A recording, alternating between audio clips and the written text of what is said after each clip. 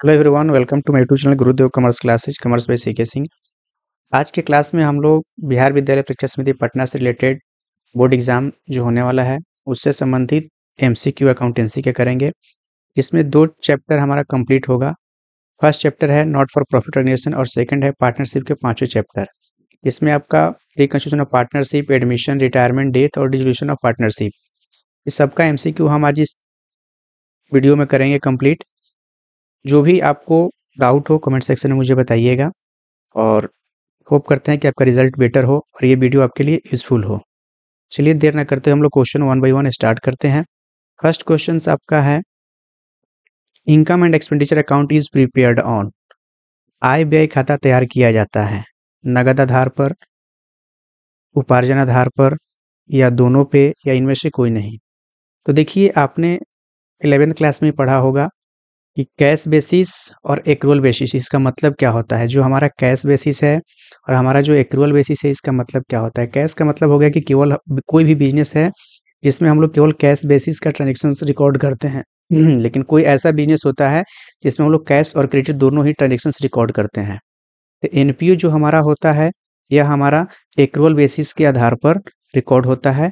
ऐसा नहीं कि केवल हम लोग कैश ट्रांजेक्शन करते हैं क्योंकि इसमें हम लोग सब्सक्रिप्शन निकालना आउट स्टैंडिंग हो गया या प्रीपेड हो गया, ये सारा चीज़ हम मेंशन करते हैं। तो जहाँ पे आउट स्टैंडिंग प्रीपेड अगर आ रहा है इट मीन्स कि हमारा जो अकाउंटिंग है, वह एक्रूअल बेसिस पे हो रहा है। तो इसका राइट आंसर हो जाएगा बी सेकेंड क्वेश्चन है income and expenditure account is generally indicate income and expenditure account generally indicate करता है। नेट प्रॉफिट लॉस को बैलेंस शीट को सॉरी बैंक बैलेंस को कैपिटल फंड को या नॉन ऑफ़ दीज को। Income and expenditure account generally show करता है क्या चीज़? तो सरप्लस और डेफिसिट सरप्लस और डेफिसिट को शो करता है, ना कि net profit loss capital fund या बैंक बैलेंस को शो करता है। तो राइट right आंसर हो जाएगा इसका D none of the above next question है। Receipt and payment account is a statement of receipt and payment account एक स्टेटमेंट है, यानी कि प्राप्ति एवं भुगतान खाता एक विवरण है। किसका? एसेट्स का है लाइबिलिटीज का है एसेट्स लाइबिलिटीज बूथ का है, या नॉन ऑफ़ दिस का है। तो थर्ड का राइट right आंसर क्या हो जाएगा? डी क्योंकि आप पढ़े हैं ट्वेल्थ क्लास में receipt and payment account is a statement of इसका स्टेटमेंट होता है तो जो भी इसको रिसिप्ट मिलता है, यानी कि आय होता है, और पेमेंट का मतलब कि जो भी इसका देता होता है, यानी कि प्राप्ति और भुगतान खाता इसको हम बोलते हैं। तो इस तरीके से इसका राइट आंसर क्या हो जाएगा? डी हो जाएगा। नेक्स्ट क्वेश्चन आपके पास है कि next question life membership fee is देखिए लाइफ मेंबरशिप फ़ी इज़ यह लाइबिलिटी है एक्सपेंसेज है इनकम है या अर्नड बैलेंस है? तो आपको पता है कि लाइफ मेंबरशिप फ़ी जो होता है, ये हमारे लिए क्या होता है? लाइबिलिटी होता है, क्योंकि यह किसी भी मेंबर के द्वारा पूरे life time whole of the NPO life, यानी कि जो भी हमारा गैर संगठनिक संस्था है, उसके लाइफ में एक बार ही पे किया जाता है, इसलिए इसका राइट आंसर क्या हो जाएगा? लाइबिलिटी। नेक्स्ट क्वेश्चन है कि sale of grass by a sports club is. जो खेल क्लब द्वारा घास का विक्रय है, उससे हमें जो भी इनकम प्राप्त होता है, उसको हम क्या कहते हैं? आपने पढ़ा होगा कि रेवेन्यू रिसिप्ट और कैपिटल रिसिप्ट तो मैं थोड़ा सा यहाँ पे कंसेप्ट आपको क्लियर कर देता हूँ। रेवेन्यू रिसिप्ट का रेवेन्यू रिसिप्ट का मतलब होता है कि जो इनकम आपको बार बार मिले, उसको हम बोलते हैं रेवेन्यू और कैपिटल रिसिप्ट का मतलब होता है कि जो एक बार मिले और उसका ड्यूरेशन जो होता है लॉन्ग पीरियड तक रहे। उसको हम बोलते हैं कैपिटल नेचर कैपिटल रिसिप्ट तो यहाँ पे सेल ऑफ़ ग्रास यानी कि कोई भी स्पोर्ट्स क्लब है, अगर ग्रास को सेल करता है तो उसके लिए क्या है ये? रेवेन्यू रिसिप्ट है तो राइट आंसर क्या हो जाएगा? बी हो जाएगा रेवेन्यू रिसिप्ट यानी आयगत प्राप्तियाँ। नेक्स्ट क्वेश्चन है कि which of the following is regarded as to show purchase of fixed assets for organising non profit organisation यानी कि निम्न में से किसे गैर लाभकारी संगठन के लिए अचल संपत्ति की खरीद दिखाने के लिए उपयुक्त माना जाता है? तो इसका राइट आंसर क्या हो जाएगा? बैलेंस शीट क्या हो जाएगा? बैलेंस शीट बैलेंस शीट आर्थिक चिट्ठा। क्योंकि यहाँ पे हम क्या करते हैं फिक्स्ड एसेट्स को शो करते हैं। नेक्स्ट क्वेश्चन है subscription received by a school for organising annual function is यहाँ पे वर्ड लग चुका है एनुअल फ़ंक्शन क्या वर्ड लगा है? एनुअल फ़ंक्शन ये आपका मोस्ट इंपॉर्टेंट पॉइंट है कि एग्ज़ाम में जब भी इस तरह का क्वेश्चन आए तो आपको ध्यान रखना है कि वर्ड जब लग गया हो एनुअल यानी कि वर्ष में एक बार तो उसको हम क्या बोलेंगे? कैपिटल रिसिप्ट बोलेंगे तो राइट आंसर इसका क्या हो जाएगा? ए हो जाएगा। अगर यहाँ पे एनुअल नहीं रहता और सीधा क्वेश्चन पूछता है कि subscription receipt by a school for organising function is a तो ये हो जाता है रेवेन्यू रिसिप्ट लेकिन वर्ड लग गया एनुअल यानी कि वर्ष में एक बार ही इसको प्राप्त हो रहा है इसका राइट आंसर क्या हो जाएगा? कैपिटल रिसिप्ट ये छोटा छोटा जो पॉइंट है, इसको आपको प्रॉपर ध्यान रखना है और ध्यान में रखते हुए ही क्वेश्चन को करना है। नेक्स्ट क्वेश्चन आपके सामने है स्क्रीन पे। कि subscription received by a club for cricket match is treated as यानी कि एक क्लब द्वारा क्रिकेट मैच के लिए प्राप्त चंदा माना जाता है। तो अगर आपको क्लब के लिए जो प्राप्त चंदा है, उसमें हम क्या उसको बोलेंगे? उसके लिए वह क्या है? यानी रेवेन्यू रिसिप्ट है एसेट्स है अर्नड इनकम है, या कैपिटल रिसिप्ट है? इसका राइट आंसर क्या हो जाएगा? कैपिटल रिसिप्ट हो जाए क्योंकि subscription subscription receipt by a club for cricket match is treated as यानी कि वह जिस, जो मैच है, उस मैच के लिए एक बार मिल रहा है। तो इसलिए उसको लिए क्या हम बोलेंगे capital receipt is the right answer. Next question है। कि not for profit organisation prepare NPO क्या प्रिपेयर करता है? Trading account trading and profit and loss account income and expenditure account और रेवेन्यू अकाउंट आपको पता है कि ट्रेडिंग अकाउंट जो है हमारा, ये सोल प्रोप्रेटरशिप के बिज़नेस में हम बनाते हैं और जो एनपीओ होता है, यह income and expenditure account receipt and payment account यह तीन तरीके का अपना अकाउंट बनाता है। क्या क्या बनाता है? तो इनकम एंड एक्सपेंडिचर अकाउंट बनाता है रिसिप्ट एंड पेमेंट अकाउंट होता है और बैलेंस शीट होता है। तो ये तीन अकाउंट जो है प्रॉपर आपको ध्यान में रखना है। यही तीन अकाउंट बनता है किसमें? आपके एनपीओ के अंदर यही तीन अकाउंट बनता है। चलिए नेक्स्ट क्वेश्चन पे हम आते हैं। टेन नंबर क्वेश्चन है आपके सामने। In non trading concern excess of income over expenditure is called यानी कि एनपीओ के अंदर गैर व्यापारिक संस्थाओं में व्यय पर आय की अधिकता को कहा जाता है। Non trading concern excess of income यानी इनकम ज़्यादा है। किससे? खर्च से। तो जब आपका इनकम जो है, आपका इनकम अगर ज़्यादा है एक्सपेंस अगर कम है तो आपके पास क्या बचेगा? सरप्लस बचेगा। और ठीक इसी का अपोजिट अगर हम बात करें कि अगर आपका इनकम जो है कम है और एक्सपेंस अगर ज़्यादा है तो क्या हो जाता? है डेफिसिट होता है। तो इस क्वेश्चन के अकॉर्डिंग इसका राइट right आंसर क्या हो जाएगा? बी हो जाएगा। नेक्स्ट क्वेश्चन है if not for profit organisation excess of expenditure over income is called देखिए, जो मैंने ऊपर क्वेश्चन बताया, वहीं सेम क्वेश्चन आ गया। इसका राइट right आंसर क्या हो जाएगा? सी हो जाएगा। डेफिशिट नेक्स्ट क्वेश्चन है, कि donation received for a special purpose देखिए डोनेशन दो प्रकार का होता है। एक होता है हमारा, एक हमारा होता है जनरल डोनेशन और एक होता है स्पेसिफिक डोनेशन स्पेसिफिक डोनेशन तो जो हमारा जनरल डोनेशन होता है, वो हम एनपीओ जो होता है, वह किसी भी काम में यूज़ कर सकता है, कहीं पर भी उसको खर्च कर सकता है। लेकिन स्पेसिफिक डोनेशन का मतलब ये हो गया कि यहाँ पे टर्म्स एंड कंडीशन लगा दिया गया कि ये दस रुपया जो है, ये अगरबत्ती जलाने के काम में, या किसी भी स्पेशल पर्पस में लगाना है यानी कि वहाँ पे इंस्ट्रक्शन दे दिया गया कि इसी काम इसको यूज़ करना है। उस तरीके के जो भी हमारा जो हमारा इंस्ट्रक्शन होता है, उसके अकॉर्डिंग जब खर्च किया जाता है, उसको हम क्या बोलेंगे? इस क्वेश्चन में पूछ रहे कि donation receipt for special purpose should be recorded to income and expenditure account should be created to separate account and show in the balance sheet should be show on the asset side या none of these इसका right right answer क्या हो जाएगा? B हो जाएगा।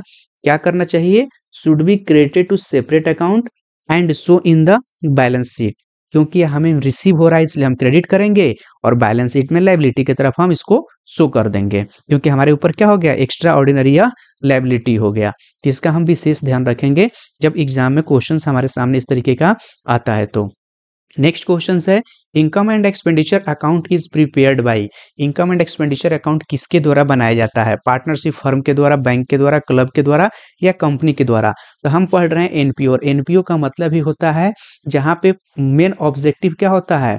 Sir, ये यहाँ पे हमारा सोशल वेलफेयर होता है, यानी कि समाज को हम सर्विस प्रोवाइड करते हैं तो उसको हम क्या बोलते हैं? सर्व द सोसाइटी तो ये हमारा डिफिनेशन याद होना चाहिए कि हमारा पार्टनरशिप फर्म का मोटिव प्रॉफिट अर्न करना होता है बैंक का मोटिव प्रॉफिट अर्न करना होता है कंपनी का मोटिव प्रॉफिट अर्न करना होता है, लेकिन क्लब का मोटिव क्या होता है?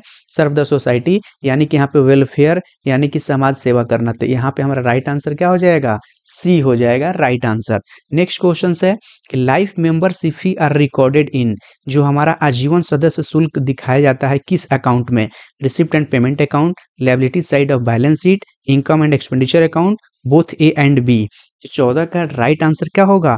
डी होगा, क्योंकि लाइफ मेंबर से जो फ़ी होता है, ये हमारा दोनों ही अकाउंट में, यानी कि रिसिप्ट एंड पेमेंट अकाउंट और liability side of balance sheet दोनों साइड हमारा दिखाया जाता है। इसका राइट आंसर डी होगा।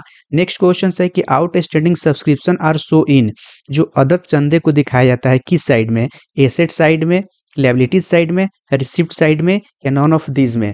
तो हमें किसी भी क्वेश्चंस को बनाते समय ध्यान रखना है कि जो आउट स्टैंडिंग सब्सक्रिप्शन का बात कर रहा है, यह यानी कि जो हमारा अदत यानी कि जो हमारा बाकी जो चंदा है, यह किसको मिलना है? तो यह एनपीओ को मिलना है। तो एनपीओ के लिए क्या है यह?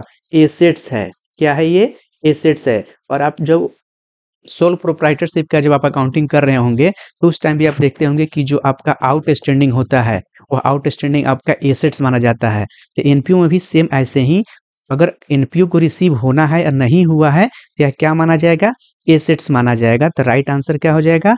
ए नेक्स्ट क्वेश्चन पे हम आते हैं। नेक्स्ट क्वेश्चन है आपका कि receipt and payment account is receipt and payment account क्या होता है? स्टेटमेंट ऑफ़ अफेयर होता है कैश स्टेटमेंट होता है प्रॉफिट एंड लॉस स्टेटमेंट होता है नॉन ऑफ़ दीज होता है। इसका राइट right आंसर क्या होगा? ये बताइए इसका राइट आंसर क्या हो जाएगा? कैश स्टेटमेंट होता है, क्या होता है? Cash statement. Receipt and payment account क्या होता है? Cash statement. इसको हम, इसका नेचर अगर आपसे पूछ दे कि what is the nature of receipt and payment account तो यह रियल नेचर का होता है।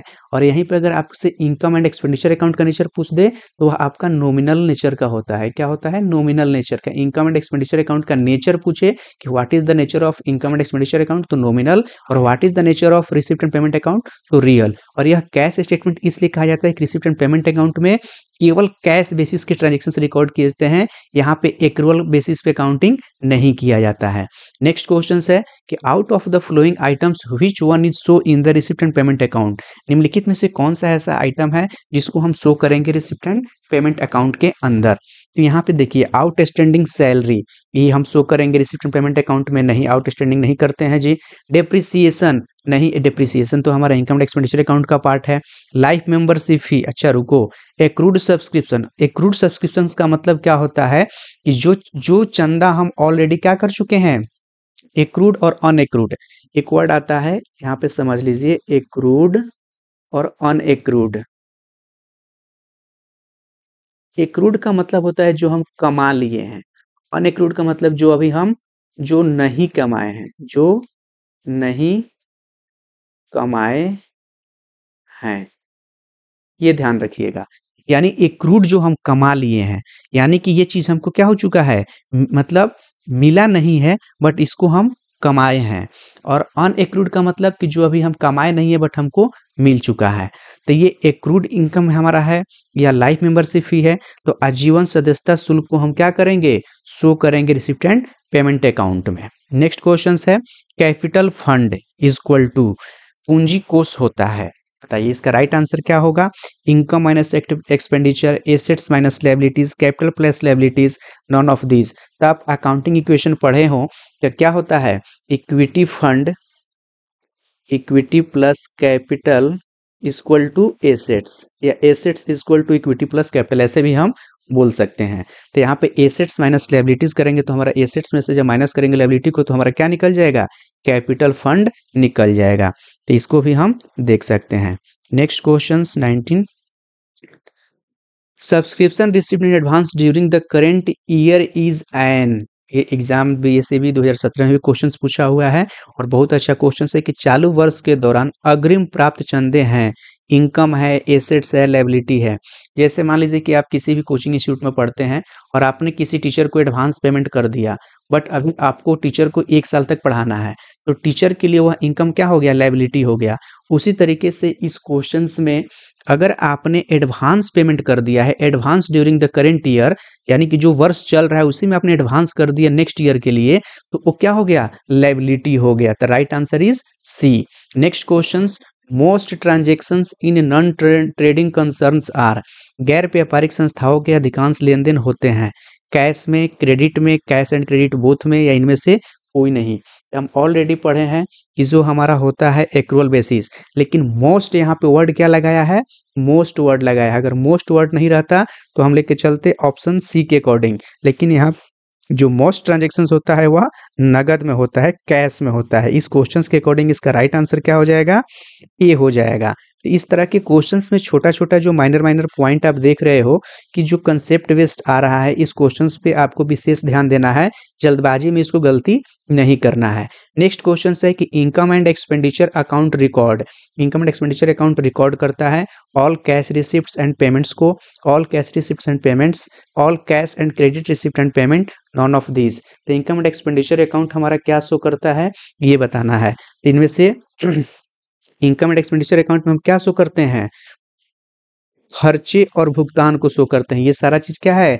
रिसिप्ट एंड पेमेंट अकाउंट का चीज़ है। तो इसका राइट आंसर डी हो जाएगा। नेक्स्ट क्वेश्चन है payment to honorarium, payment to honorarium to chairman is treated as ये वर्ड यहाँ पे आता है होनरेरियम। कई बार एग्ज़ाम में ना एक नंबर सॉरी दो नंबर का क्वेश्चन पूछ लेता है कि डिफाइन होनरेरियम। होनरेरियम होता क्या है?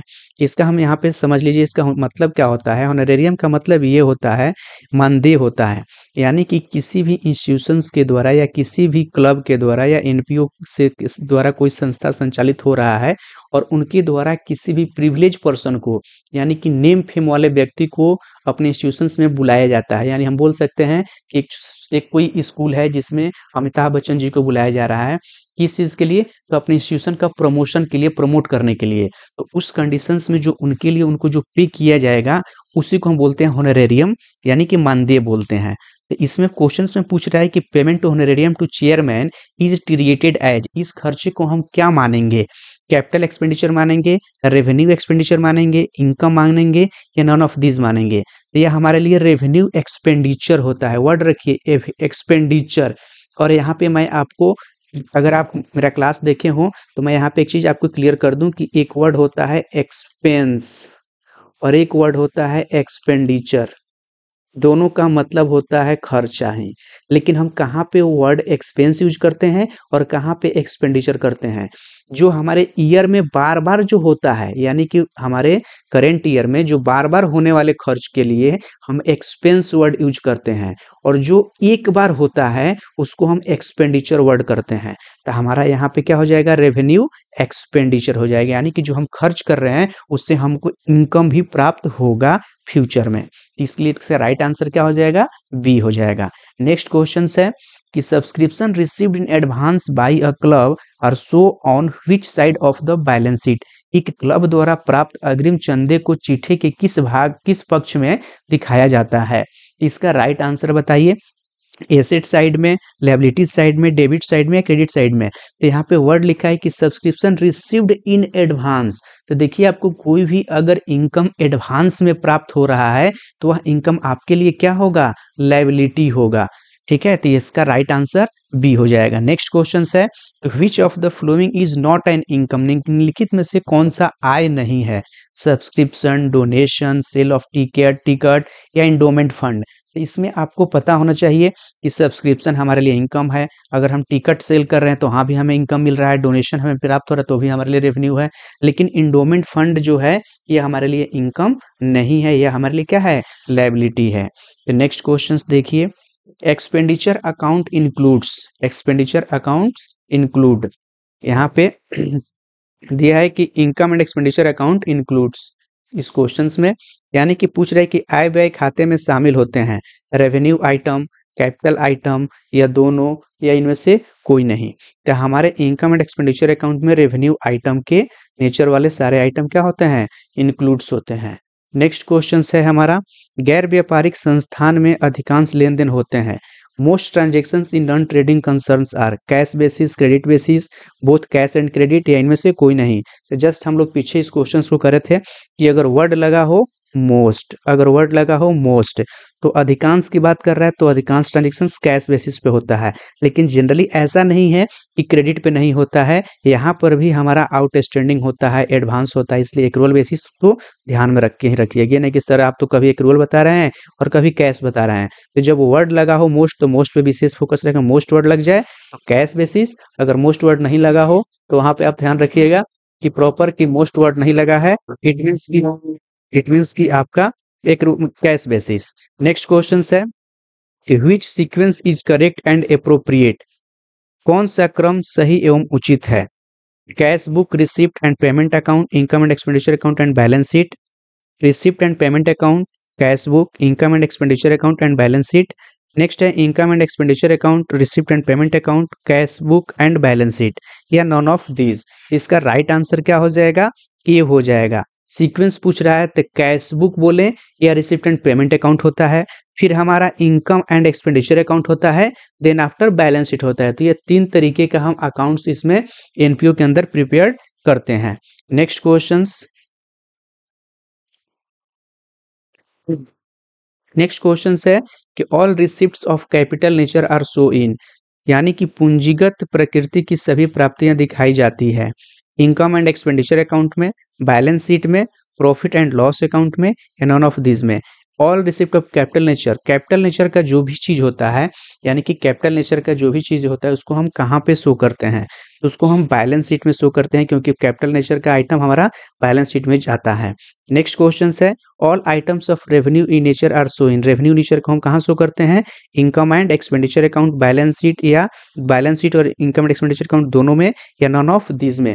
तो इसका राइट right आंसर क्या हो जाएगा? इनकम एंड एक्सपेंडिचर अकाउंट में, यानी कि रेवेन्यू नेचर के आइटम को हम इनकम एंड एक्सपेंडिचर अकाउंट में और कैपिटल नेचर के आइटम को हम बैलेंस शीट में। और जो भी कैश से हमें जो रिसिप्ट होता है, उसको हम लिखते हैं रिसिप्ट एंड पेमेंट अकाउंट में। नेक्स्ट क्वेश्चन है which of the following is not a not not for profit organization निम्न में से कौन सा अलाभकारी संगठन नहीं है? School club hospital partnership form तो स्कूल भी एग्ज़ाम्पल है हमारा। एनपीओ का क्लब एग्ज़ाम्पल है एनपीओ का हॉस्पिटल भी एग्ज़ाम्पल है एनपीओ का बट साझेदारी पार्टनरशिप फर्म जो है, ये हमारा क्या है? प्रॉफिट मोटिव होता है, इसलिए यह एनपीओ का पार्ट नहीं है।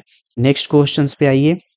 नेक्स्ट क्वेश्चन है कि the main objective of non profit organisation is हमारा जो लाभ न कमाने संस्था का मुख्य उद्देश्य क्या होता है? To earn the profit to serve the society to prepare profit and loss account all of the above तो हम पहले ही बताए थे कि किसी भी एनपीओ का जो मेन मोटिव होता है, वह होता है to serve the society the right answer is B यानी कि समाज की सेवा करना। नेक्स्ट क्वेश्चन है कि subscription received by an organisation is एक संस्था द्वारा प्राप्त चंदा है। कैपिटल रिसिप्ट है रेवेन्यू रिसिप्ट है बोथ ए एंड बी है, या नॉन ऑफ़ डीज है। इस तरीके के क्वेश्चंस में आपको ध्यान रखना है कि सब्सक्रिप्शन जो रिसिप्ट होता है, वह बार बार होने वाला चीज़ है तो वह क्या है? रेवेन्यू रिसिप्ट है। तो right answer is B next question कि entrance fee unless otherwise stated is treated as यानी कि कहने का मतलब कि यदि स्पष्ट कुछ न दिया हो तो प्रवेश शुल्क को माना जाएगा। यानी कि इंट्रेंस फ़ी को हम क्या मानेंगे? रेवेन्यू रिसिप्ट मानेंगे कैपिटल रिसिप्ट मानेंगे लाइबिलिटी मानेंगे या नॉन ऑफ़ दिस मानेंगे। तो अगर इंट्रेंस फ़ी के बारे में कुछ भी नहीं दिया हो तो उस कंडीशन में इंट्रेंस फ़ी को हम रेवेन्यू रिसिप्ट मानते हैं, यानी कि आयगत प्राप्ति हम मानेंगे। अगर उसके बारे में इंट्रेंस फ़ी के बारे में दिया हो वन टाइम के रिगार्डिंग या पूरे लाइफ टाइम के रिगार्डिंग तो हमारा कैपिटल रिसिप्ट होता है। लेकिन अगर अदरवाइज़ कुछ भी उसमें मेंशन नहीं है तो रेवेन्यू रिसिप्ट हम ट्रीट करेंगे। Subscription received in advance is अग्रिम प्राप्त चंदा है। आपको मैंने ये क्वेश्चंस बार बार आ रहा है तो ये क्या है? लाइबिलिटी है सब्सक्रिप्शन रिसीव्ड इन एडवांस अगर कोई भी अग्रिम प्राप्त चंदा हो रहा है तो लाइबिलिटी है। नेक्स्ट क्वेश्चन पे चलते हैं। नेक्स्ट क्वेश्चन है कि sale of old newspaper is अगर आप पुराना न्यूज़पेपर एनपीओ के द्वारा बेचा जाता है तो उसको क्या मिलेगा? डेफिनेटली उसको रेवेन्यू रिसिप्ट होगा। तो right answer is B next question income and expenses related to the prize fund is shown in income and expenses यानी कि पुरस्कार कोष से संबंधित आय एवं व्यय को कहाँ दिखाया जाएगा? इसको हम कहाँ पे दिखाते हैं? The liability side of the balance sheet में दिखाते हैं ये चीज़। Next question life membership fee और नॉन ट्रेनिंग कंसर्न इज़ गैर व्यापारिक संगठनों का आजीवन सदस्यता शुल्क होता है। कैपिटल रिसिप्ट होता है, रेवेन्यू रिसिप्ट होता है या बोथ होता है? तो कैपिटल रिसिप्ट और रेवेन्यू रिसिप्ट का डिफिनेशन मैंने आपको स्टार्टिंग में ही बताया था कि कैपिटल रिसिप्ट हम किसको बोलते हैं और रेवेन्यू रिसिप्ट किसको बोलते हैं। कैपिटल रिसिप्ट का मतलब होता है कि जो एक बार हो और रेवेन्यू रिसिप्ट का मतलब जो बार बार प्राप्त होने वाली हमें आय। तो यहाँ पे आजीवन लाइफ मेंबरशिप हमको बार बार नहीं ना मिल रहा है, एक बार मिल रहा है। तो इसका राइट आंसर क्या होगा? ए हो जाएगा। Right answer A capital receipt I think मुझे लग रहा है कि आपका कंसेप्ट में भी थोड़ा बहुत अगर कमी हो तो भी यहाँ इस टॉपिक से आपको कंसेप्ट क्लियर हो जाएगा। और ये एमसीक्यू करने से आपको फ़ायदा ये होगा ना कि आपको एग्ज़ाम में कन्फ्यूज़न नहीं होगा। तो वीडियो को लास्ट तक देखिए, समझिए। और अगर चैनल को सब्सक्राइब नहीं किए तो चैनल को सब्सक्राइब कर लीजिए शेयर कीजिए दोस्तों में। लाइक कीजिए। चलिए next question legacy should be treated as legacy क्या होता है? सबसे बड़ी चीज़ लिजेसी क्या होता है? वसीयत को माना जाना चाहिए। लिजेसी क्या होता है कि जब किसी भी घर में बूढ़ा आदमी होता है ओल्ड व्यक्ति, जैसे मान लीजिए कि ये कोई बूढ़ा व्यक्ति है, ठीक है? और इनकी डेथ हो जाती है तो ये मरने से पहले ना एक अपना लेटर एक पेज पर साइन कर देते हैं कि मेरा जो प्रॉपर्टी है, इस इस संस्था को दिया जाना चाहिए, दान दिया जाना चाहिए तो इसको हम बोलते हैं लीजेसी। इसको हम क्या बोलते हैं? लीजेसी। तो इसको हम बोलते हैं वसीयतनामा। तो इस पूछ रहा है कि लीजेसी शुड बी ट्रीटेड है। लीजेसी को क्या मानना चाहिए? एसेट्स मानिए, रेवेन्यू मानिए, कैपिटल रिसिप्ट मानिए या क्या मानिए? तो हम इसको हमेशा क्या मानेंगे? कैपिटल रिसिप्ट मानेंगे, पूंजीगत प्राप्ति मानेंगे। ठीक है? नेक्स्ट क्वेश्चन कि payment of honorarium to secretary is related as ये भी क्वेश्चन आया था पीछे कि सचिव को मानदेय का भुगतान है। कैपिटल एक्सपेंडिचर है रेवेन्यू एक्सपेंडिचर है तो ये हमारा क्या होता है? रेवेन्यू एक्सपेंडिचर होता है। ये चीज़ ध्यान रखना है। विशिष्ट दान specific donation is specific donation अगर वर्ड लग गया तो कैपिटल रिसिप्ट है रेवेन्यू रिसिप्ट है एसेट्स है, या क्या है? तो स्पेसिफिक डोनेशन जो होता है या कैपिटल होता है। और सिंपल पूछता कि डोनेशन क्या है तो हो जाता है रेवेन्यू तो इस क्वेश्चन में वर्ड लगा है स्पेसिफिक यानी कि कैपिटल रिसिप्ट है। और सिंपल पूछता है donation is the revenue receipt specific donation is the capital receipt तो इस तरीके से आपको ध्यान रखना है एग्ज़ाम में। नेक्स्ट क्वेश्चन है कि in receipt and payment account items entered are प्राप्ति एवं भुगतान खाते में प्रविष्ट की गई मदे होती हैं। कैपिटल आइटम होता है रेवेन्यू आइटम होता है बोथ होता है या नॉन ऑफ़ डीज होता है। इस क्वेश्चन में आपको प्रॉपर देखिए, पूछ रहा है कि in receipt and payment account items entered are किस नेचर का हम रिसिप्ट पेमेंट अकाउंट में इंटर करते हैं।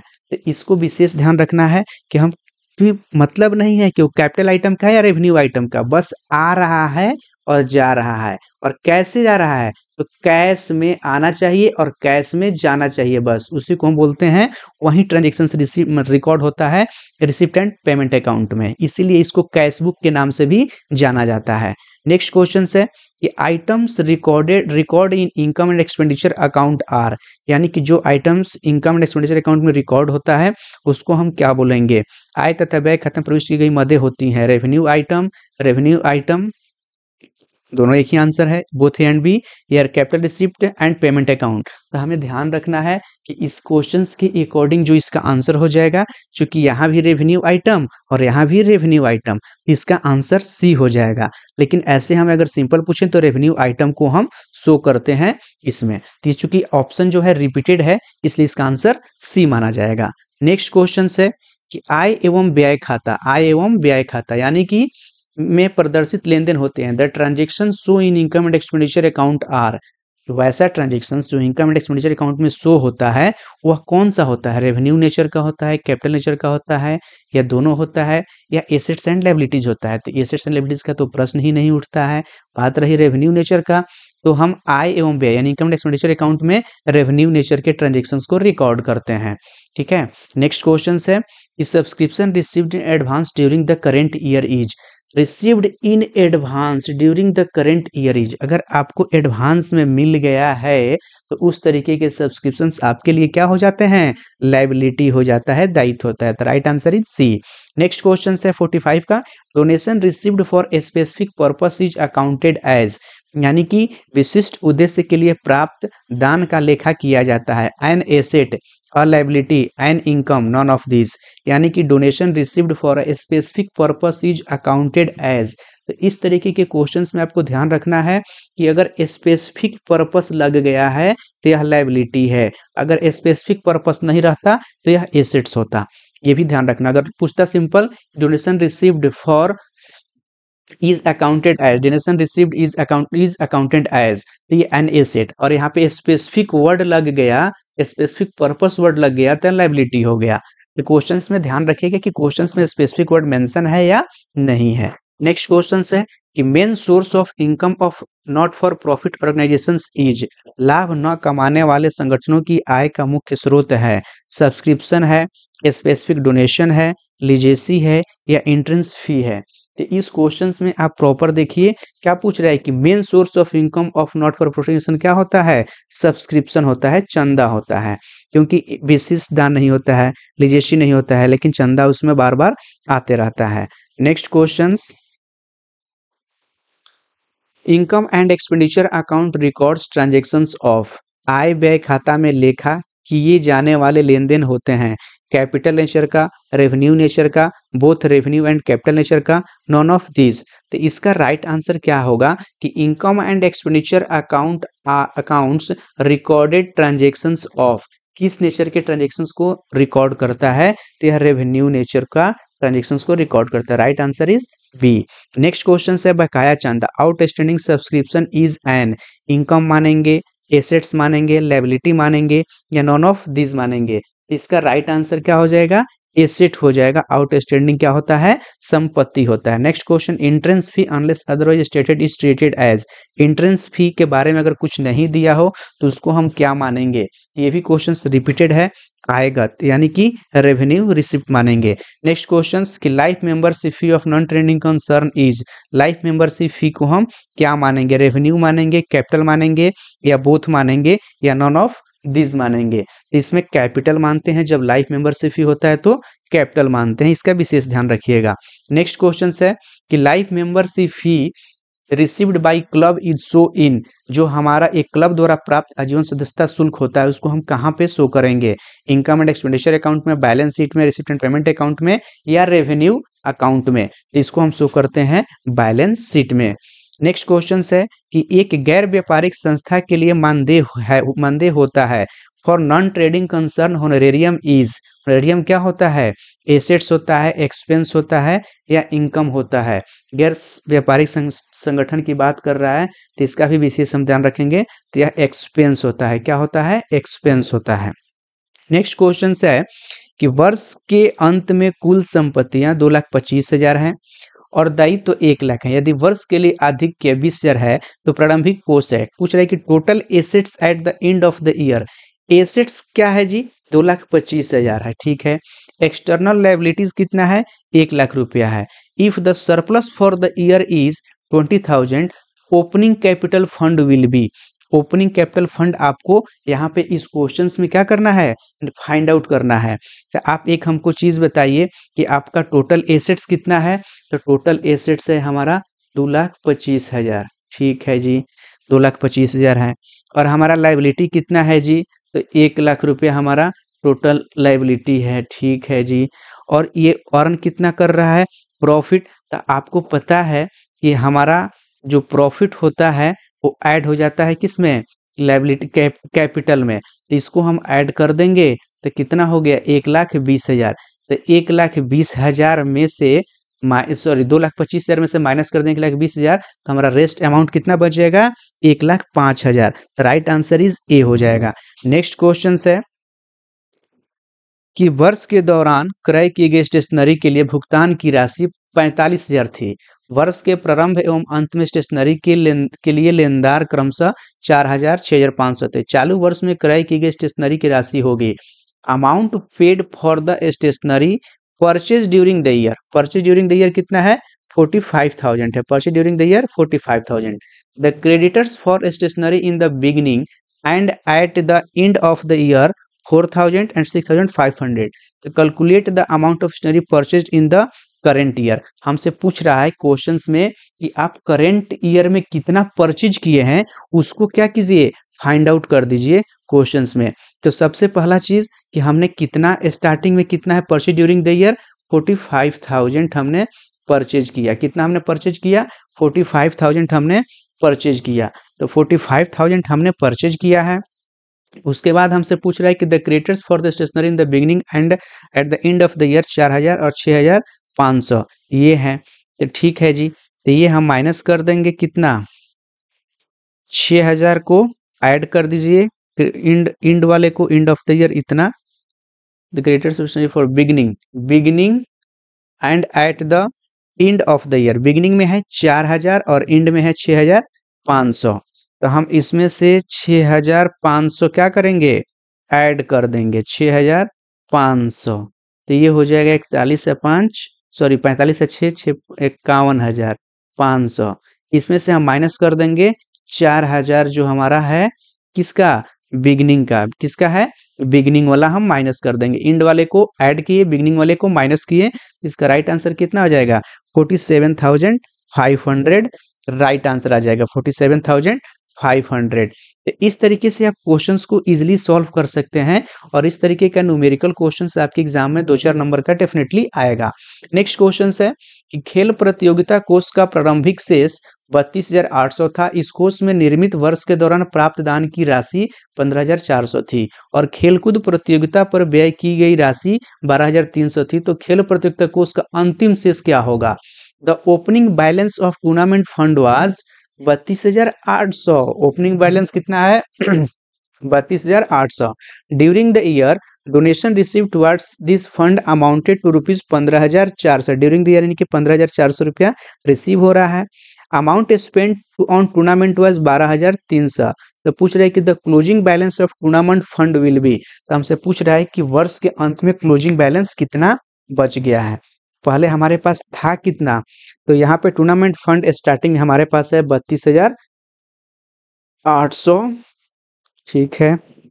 बत्तीस हज़ार आठ सौ तो ये है जी। चलो। और और और और और। बत्तीस हज़ार आठ सौ तो ये हो गया। और कितना है? Donation receive toward this fund amounted to rupees पंद्रह हज़ार चार सौ और पंद्रह हज़ार चार सौ, ये है। ज़ीरो ज़ीरो, आठ से बारह के दो हाथ में एक, पाँच एक छः एक नौ, तीन एक चार तो चौवालीस हज़ार दो सौ। इसमें से माइनस कर देंगे हम बारह हज़ार तीन सौ, ठीक है? तो ये आ जाएगा ज़ीरो ज़ीरो। बारह से तीन गया नौ, और ये हो जाएगा पैंतीस। पैंतीस हज़ार नौ सौ। Right answer is B right answer is B next question क्या हो जाएगा? Receipt and payment account is a देखिए क्वेश्चन आ गया ना रिसिप्ट एंड पेमेंट अकाउंट का नेचर पूछ रहा है कि what is the nature of receipt and payment account तो आपको ध्यान रखना है कि नेचर होता है ना personal account nominal account real account there are three types of nature तो ये हमारा जो ट्रेडिशनल अप्रोच होता है पर्सनल रियल नॉमिनल का, ये ट्रेडिशनल अप्रोच से पूछ रहा है। ट्रेडिशनल अप्रोच में बताइए कि पर्सनल रियल नेचर किस नेचर का रिसिप्ट पेमेंट अकाउंट होता है। ये ध्यान रखिए रिसिप्ट एंड पेमेंट अकाउंट का जो नेचर होता है रियल अकाउंट होता है। Income and expenditure account is a यह होता है नोमिनल अकाउंट क्या होता है? नोमिनल अकाउंट इस तरीके के क्वेश्चन आप इजिली बना सकते हैं। नेक्स्ट क्वेश्चन है कि which of the following is not a not for profit organisation निम्न में से कौन लाभ न कमाने वाली संस्था नहीं है? कॉलेज है स्पोर्ट्स क्लब है हॉस्पिटल है, मारुति उद्योग है। निम्न में से कौन लाभ न कमाने वाली संस्था है? तो देखिए, यहाँ पे इस क्वेश्चन में राइट आंसर क्या होगा? Which of the following is not a word क्या लिखा है? Not a not for profit organisation club है हॉस्पिटल है और कॉलेज है. इसका जो ऑप्शन दिया है ना ऑप्शन गलत दिया है. मारुति उद्योग जो है, मारुति उद्योग, यह प्रॉफिट अर्न करने वाली संस्था है. ठीक है? लेकिन संस्था नहीं है. तो ये सारे नहीं है. कॉलेज नहीं है स्पोर्ट्स क्लब नहीं है हॉस्पिटल नहीं है. Which of the following is not a not for profit अच्छा संस्था नहीं है। सॉरी सॉरी एक सेकेंड ये तो है ही। ये हमारा क्या हो जाएगा? मारुति उद्योग हो जाएगा। ये हमारा एनपीओ पूछ रहे हैं ना सॉरी हमने दिमाग लगाया प्रॉफिट का। तो इसका राइट आंसर क्या हो जाएगा? एनपीओ हो जाएगा। तो इसको आप प्रॉपर ध्यान रख सकते हैं कि इसका राइट आंसर मैं बता दूँ, इसका राइट आंसर क्या हो जाएगा?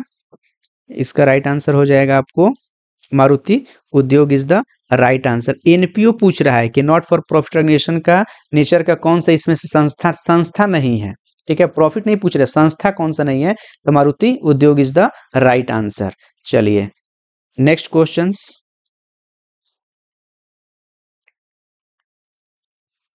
income and expenditure account is prepared आय व्यय खाता बनाया जाता है by business organisation by industrial organisation by NPO by all organisation income and expenditure account जो बनाया जाता है, वह एनपीओ के द्वारा बनाया जाता है नॉट फॉर प्रॉफिट ऑर्गेनाइजेशन के द्वारा बनाया जाता है।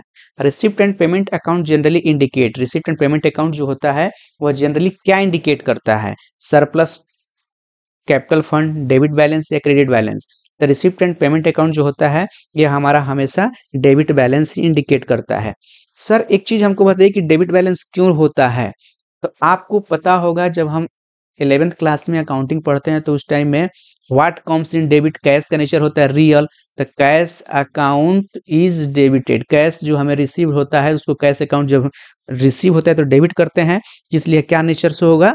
कैश अकाउंट इज़ डेबिटेड उसी बेस पर इसका जो रिसिप्ट एंड पेमेंट अकाउंट जो होता है या इंडिकेट करता है, हमेशा डेबिट बैलेंस क्योंकि कैश बेसिस के आधार पर रिकॉर्ड किया जाता है। नेक्स्ट क्वेश्चन है कि all receipt from sale of consumable items are treated as उपभोगजन्य मदों की बिक्री से सभी प्राप्तियों को माना जाता है। इसका राइट आंसर क्या हो जाएगा? रेवेन्यू रिसिप्ट हो जाएगा।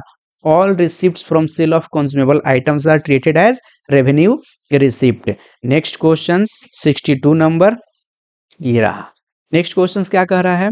कि वर्ष के दौरान प्राप्त चंदे की राशि 5000 है। अगले वर्ष के लिए अग्रिम प्राप्त राशि 300 है। चालू वर्ष के लिए अदत राशि 400 है।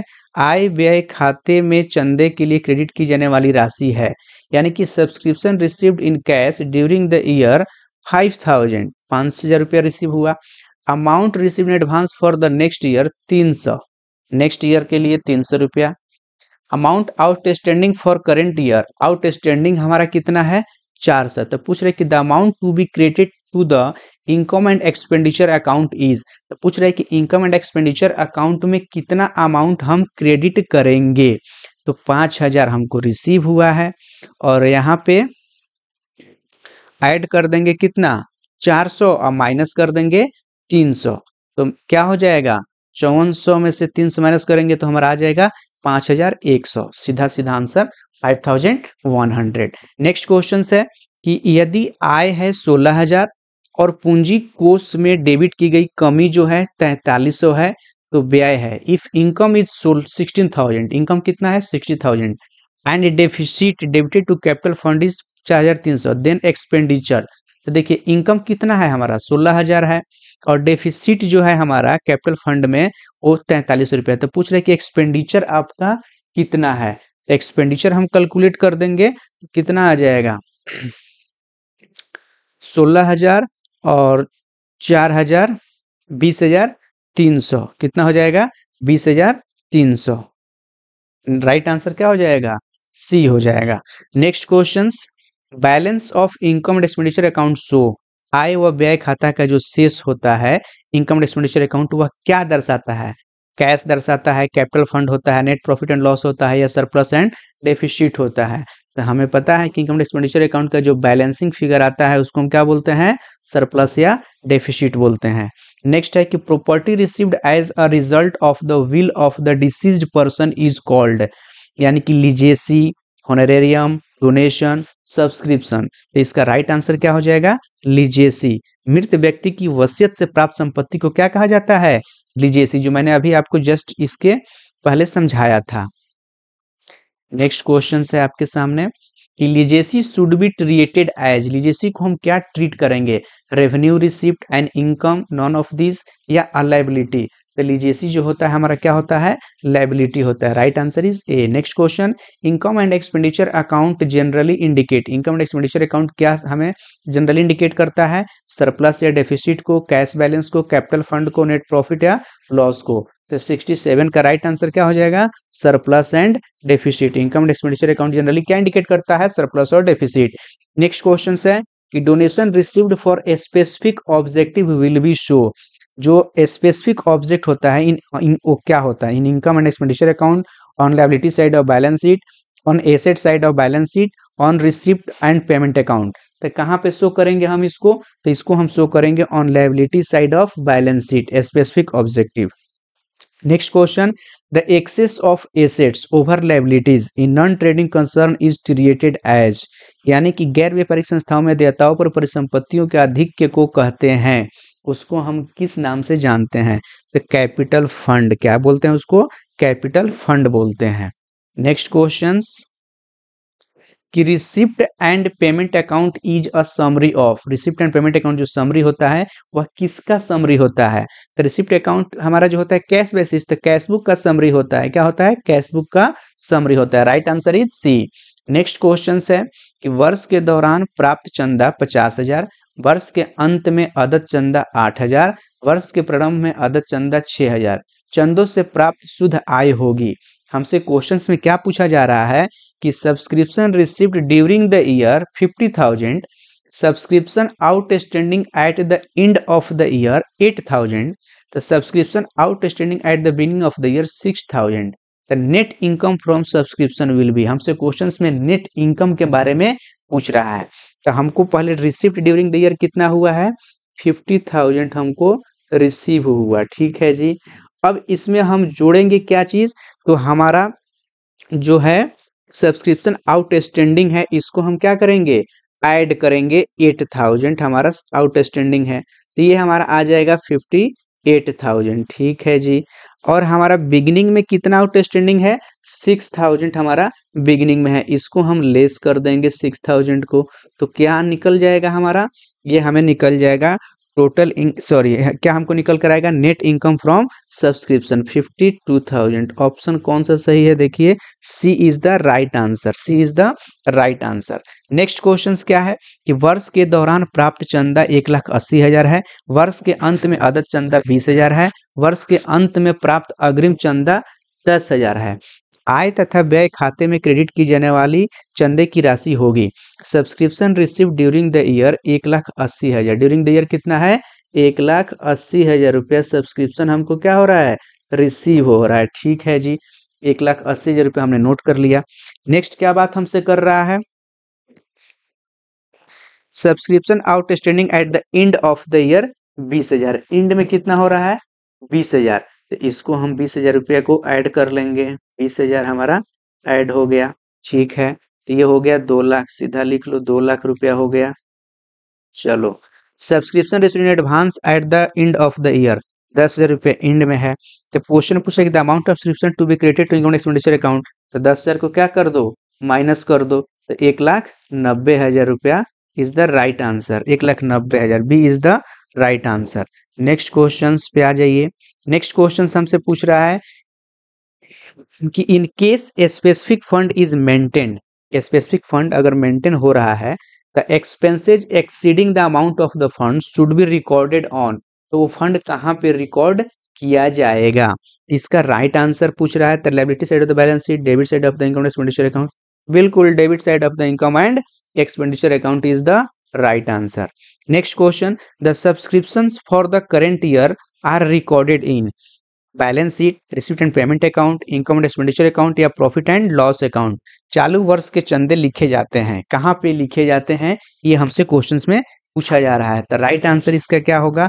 बैलेंस शीट होगा रिसिप्ट एंड पेमेंट अकाउंट होगा इनकम एंड एक्सपेंडिचर अकाउंट होगा। इसका राइट right आंसर क्या हो जाएगा? Income and expenditure account is the right answer next question income and expenditure account is related to जो हमारा इनकम एंड एक्सपेंडिचर अकाउंट है यह किससे रिलेटेड है? प्रीवियस ईयर से करेंट ईयर से नेक्स्ट ईयर से, या इनमें से कोई नहीं? तो इस क्वेश्चन में आप देखिए कि इनकम एंड एक्सपेंडिचर अकाउंट जो है, यह किस से रिलेटेड है? तो इनकम एंड एक्सपेंडिचर अकाउंट जो हमारा होता है वह हमेशा और हमेशा किससे होता है? करेंट ईयर से संबंधित होता है। तो right answer is B next question पे आइए। नेक्स्ट क्वेश्चन क्या है? कह रहा है कि prepaid subscription for the organisation are an जो प्रीपेड सब्सक्रिप्शन होता है, यानी कि एसेट्स लाइबिलिटीज इनकम या ऑल ऑफ़ दीज रूपदत्त चंदा संस्था के लिए क्या होता है? बताइए। Prepaid subscription for the organisation prepaid यहाँ पे आउटस्टैंडिंग है तो एसेट आप प्रीपेड है तो लाइबिलिटी इसमें तो कोई कंफ्यूजन होने वाली बात ही नहीं है। ठीक है? Next question surplus of income and expenditure account is added to जो सरप्लस होता है इनकम एंड एक्सपेंडिचर अकाउंट को, उसको हम कहाँ पे ऐड करते हैं? तो आपको याद होगा कि सोल ट्रेडिंग बनाते थे सोल्ड प्रोप्राइटरशिप तो सोल्ड ट्रेड में जो हमारा प्रॉफिट आता था नेट प्रॉफिट उसको हम ऐड करते थे बैलेंस शीट बनाते समय कैपिटल अकाउंट में। तो यहाँ पे जो हमारा सरप्लस का अमाउंट आता है, उसको हम ले जाकर कहाँ पे ऐड करेंगे? कैपिटल फंड में ऐड करेंगे, ये भी हमारा एक तरह का प्रॉफिट ही है, बस नाम बदल गया है और कुछ नहीं। वहाँ पे भी कैपिटल में ऐड करते थे प्रॉफिट और यहाँ पे डेफिसिट होगा तो कैपिटल से माइनस कर देंगे। वहाँ पर भी अगर नेट लॉस आता था तो कैपिटल से हम माइनस कर देते थे नेट प्रॉफिट के नेट लॉस को। Next question non profit organisation are established for non not for not profit are established for लाभ न कमल संस्थाएँ स्थापित की जाती है सोल प्रोपीटर के द्वारा। पार्टनर्स के द्वारा शेयर होल्डर्स के द्वारा या सोसाइटी के द्वारा? ठीक किसके द्वारा की जाती है? सोसाइटी के द्वारा, समाज के द्वारा, समाज के लिए। Next question non profit organisation provide their services in the area of लाभ न कमाने वाली संस्थाएँ अपनी सेवाएँ देती हैं। एजुकेशन के क्षेत्र में रिलीजन के क्षेत्र में वेलफेयर के क्षेत्र में, या ऑल ऑफ़ दीज ये तीनों ही क्षेत्र में सेवाएँ देती हैं। नेक्स्ट क्वेश्चन है कि which of the following is not a source of income for the not for profit organisation निम्नलिखित में से कौन सा लाभ न कम आने वाली संस्थाओं के लिए आय का स्रोत नहीं है? डोनेशन डेप्रिसिएशन सब्सक्रिप्शन या ग्रांट्स तो इस क्वेश्चन का राइट आंसर क्या हो जाएगा? डेप्रिसिएशन डेप्रिसिएशन यहाँ पे नहीं होता है। कौन सा लाभ न कौन संस्थाओं के लिए आय का स्रोत नहीं है? डेप्रिसिएशन आय का स्रोत है जी। ये तो एक क्या करता है? नॉन कैश आइटम है जो हमारे डेप्रिसिएशन को डे बाई डे क्या करता है? वैल्यू डिक्रीज करता है। ठीक है? नेक्स्ट क्वेश्चन आय व्यय खाता बनाने का आधार होता है। The basis for the preparation of income and expenditure account is आय व्यय खाता बनाने का आधार क्या होता है? लेजर अकाउंट होता है प्रॉफिट एंड लॉस होता है ट्रेडिंग अकाउंट होता है रेस्टोरेंट पेमेंट अकाउंट होता है। इसका राइट right आंसर क्या हो जाएगा? प्रॉफिट एंड लॉस अकाउंट ठीक है? तो इस तरीके से ये क्वेश्चन कंप्लीट हुआ। अब हम बात करते हैं आई थिंक कि आपको यहाँ तक बहुत अच्छे से समझ में आया हो। अब हमारा नेक्स्ट जो चैप्टर है पार्टनरशिप अकाउंटिंग का चैप्टर है और पार्टनरशिप अकाउंटिंग का एस पब्लिकेशन का जो बुक है, उससे संबंधित जितने भी एमसीक्यू हैं, जो मोस्ट प्रोबेबली चांसेज हैं कि आपके एग्ज़ाम में आने वाले हैं। और ऑब्जेक्टिव जो 50 मार्क्स का आता है, अगर आप इस टॉपिक को कवर कर लेते हो, सारा एमसीक्यू कंप्लीट कर लेते हो तो एक भी नंबर आपका नहीं कटेगा, क्योंकि इस सेशन में हम आपको कंप्लीटली तरीके से हर एक क्वेश्चन का कंसेप्ट भी डिस्कस करते हुए चल रहे हैं। तो चलिए सबसे पहले पार्टनरशिप का हम थोड़ा सा मीनिंग समझ लेते हैं कि पार्टनरशिप होता क्या है। पार्टनरशिप की बात करें तो जहाँ पे दो व्यक्ति मिलकर किसी भी बिज़नेस को स्टार्ट करते हैं for the purpose of earning the profit दो व्यक्ति का होना यहाँ पे मिनिमम पार्टनर्स का होना ज़रूरी है। Partner A plus partner B यानी कितने हो गए? दो लोग हो गए। और मिनिमम संख्या दो है और मैक्सिमम नंबर ऑफ़ पार्टनर्स कितने हैं? फिफ्टी हैं। अकॉर्डिंग टू पार्टनरशिप एक्ट नहीं अकॉर्डिंग टू कंपनीज़ एक्ट है। अकॉर्डिंग टू कंपनीज़ एक्ट कौन सा है? 2013 के according maximum number of partners कितने हैं? 50 हैं। और पार्टनरशिप एक्ट अगर आपसे पूछता है तो पार्टनरशिप एक्ट कितना है? 9032 है। तो ये बेसिक जो चीज़ें हैं, ध्यान रखना है। अब यहाँ पे दो पॉइंट और आता है कि अगर आपका पार्टनरशिप में डीड बना है और in the absence of partnership deed या एग्रीमेंट तो यहाँ पे अगर पार्टनरशिप डीड बना है तो किसी का नहीं सुनना है जो डीड में जो भी बात लिखा है, चाहे वो गलत हो या सही हो, उससे कोई मतलब नहीं है एक्ट को।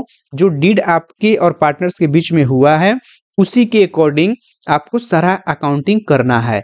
अगर डीड नहीं बना है तो पार्टनर्स को केवल जो फर्म लोन लेता है, अगर फर्म लोन लेता है तो सिक्स परसेंट पर एनम के हिसाब से उसका इंटरेस्ट पे किया जाएगा।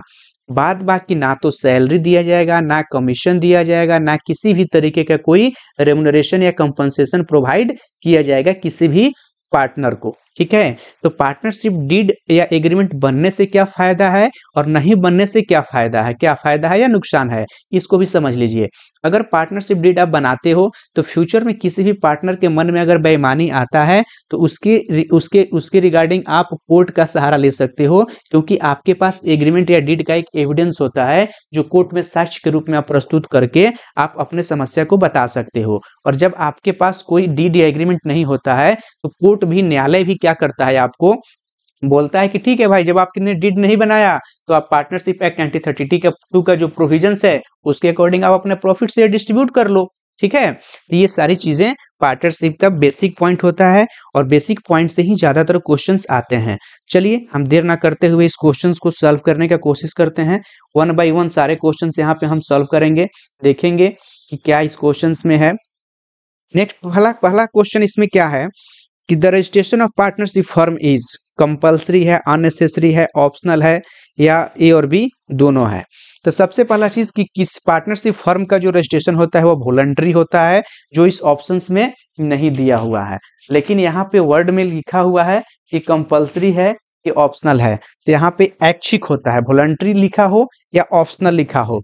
ऑप्शनल भी लिख देता है, अब वॉलंटरी भी लिख देता है। तो ध्यान रखिएगा कि दोनों का मतलब सेम होता है। कई बार एग्ज़ाम में क्वेश्चंस के ऑप्शन ऑप्शनल दिया रहेगा या वॉलंट्री दिया रहेगा तो दोनों का मतलब ऐच्छिक होता है। ठीक है?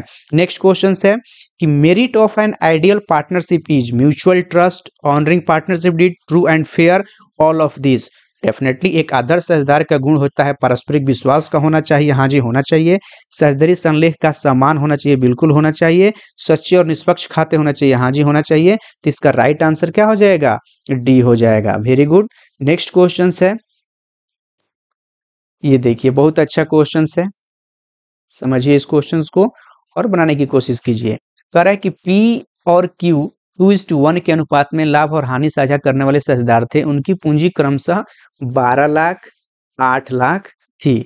उन्हें पूंजी पर सिक्स परसेंट प्रति वर्ष की दर से ब्याज की अनुमति थी और आहरण का ब्याज दस परसेंट प्रति वर्ष लगाया जाना था। वर्ष के दौरान उनकी आहरण पी के द्वारा दो लाख चालीस हज़ार की क्यू के द्वारा एक लाख साठ हज़ार थे। लाभ और हानि नियोजन खाते के अनुसार शुद्ध विभाज्य लाभ में क्यू का हिस्सा एक लाख साठ हज़ार था? किसी भी नियोजन से पहले फर्म का शुद्ध लाभ था। पूछ रहा है कि प्रॉफिट क्या है? P and Q were partner sharing profit and losses in the ratio of two is to one इनका प्रॉफिट शेयरिंग रेशियो क्या है जी? टू इज़ टू वन है। Very good their capitals were बारह लाख और आठ लाख। इनका कैपिटल बारह लाख है, एक पी का और क्यू का आठ लाख है। They were allowed interest on capital six percent per annum इनका capital for interest as 6% per annum and interest on drawings was to be charged 10% per annum. Their drawings during the year were 2 lakh 40,000 or 1 lakh 60,000. Q's share of net divisible profit as per profit and loss appropriation account amounted to rupees एक लाख साठ हज़ार था net profit of the firm before any appropriation was तो कुछ करना नहीं है, बस ये जो हम पहले कर लिया है ना, इसको हम क्या करेंगे? पहले कैलकुलेट कर लेंगे और फिर उस चीज़ को माइनस करेंगे। तो इस तरीके आप जब इसको सॉल्व कीजिएगा तो net profit of the firm before any appropriation was जो आंसर आएगा, वह क्या आएगा? पाँच लाख अस्सी हज़ार इसका राइट आंसर आएगा। आप इसको सॉल्व कीजिएगा। नेक्स्ट क्वेश्चन क्या है? क्योंकि यहाँ पे स्लाइड में थोड़ा सा जगह स्पेस की कमी है। तो चलिए।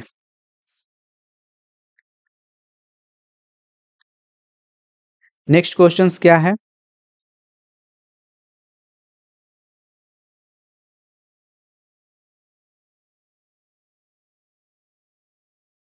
ये देखिए ए बी और सी ए बी और सी फर्म में सहजदार हैं। सहदेव संलेख के अनुसार पूंजी पर 10 परसेंट प्रतिवर्ष की दर से ब्याज है।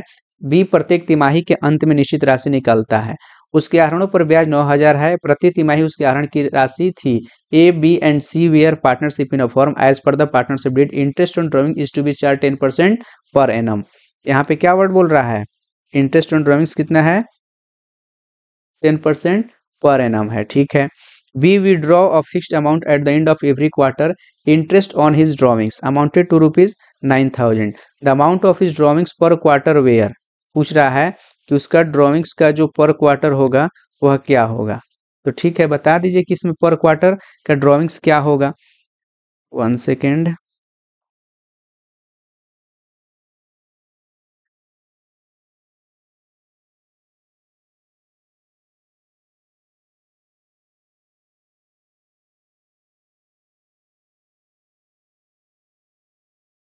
चलिए, इसका ड्रॉइंग्स पूछ रहा है कि क्या होगा? थिकनेस इसका थोड़ा कम कर दें। ठीक है, चलिए। तो ये हो गया।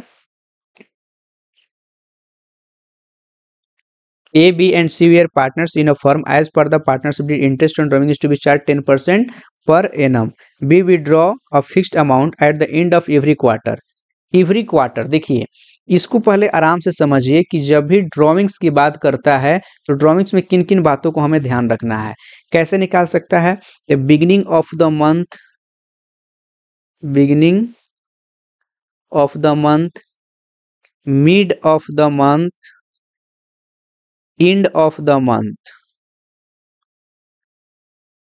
और सेम ऐसे ही beginning of quarter mid of quarter और एंड ऑफ़ क्वार्टर तो इसमें इसका एक फॉर्मूला होता है सिंपल सा। उस फॉर्मूला को निकालने के लिए आपको क्या करना होता है कि लेफ़्ट आफ्टर यहाँ लिख दे रहे हैं left after first drawings plus left after last drawings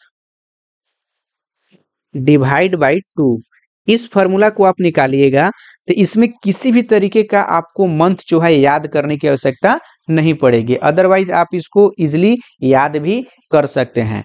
तो इस क्वेश्चंस के अकॉर्डिंग जो इसका आंसर हो जाएगा, वह हो जाएगा कौन सा?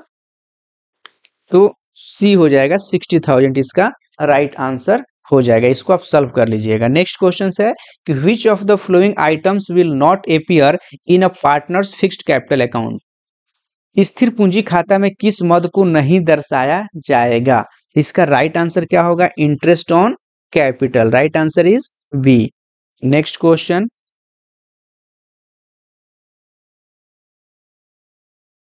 चलिए। साझेदार के वेतन से नाम किया जाता है। Partner salary is debited to trading account, profit and loss account, profit and loss appropriation account. इसका राइट आंसर क्या हो जाएगा? Profit and loss appropriation account is the right answer next question क्या हो जाएगा? Making of partnership agreement is making of partnership agreement is साझेदारी अनुबंध बनाना है। Compulsory voluntary partially compulsory word आ ही गया। वॉलेंट्री तो साझेदारी अनुबंध बनाना क्या है हमारे लिए? सजदारी अनुबंध। Making of partnership agreement is voluntary क्या है जी? वॉलेंट्री है। यह कंपल्सरी नहीं है। ये भी ध्यान रखिएगा। नेक्स्ट क्वेश्चन साझेदारी अधिनियम किस वर्ष लागू हुआ? यानी in which year was the partnership act pass 1932 is the right answer next question partnership agreement can be oral written oral या रिटेन नॉन ऑफ़ दिस तो पार्टनरशिप एग्रीमेंट जो होता है, यह हम लिख तो मतलब ओरल और रिटेन दोनों में कर सकते हैं, लेकिन भैया जब हम एग्रीमेंट कर ही रहे हैं ना तो प्रैक्टिकल लाइफ में रिटेन में कर लेना ज़्यादा बेटर होता है। बट इस क्वेश्चन के अकॉर्डिंग इसका राइट आंसर क्या होगा? सी होगा। नेक्स्ट क्वेश्चन साझेदारों के पूंजी खाते पर ब्याज क्रेडिट किया जाता है।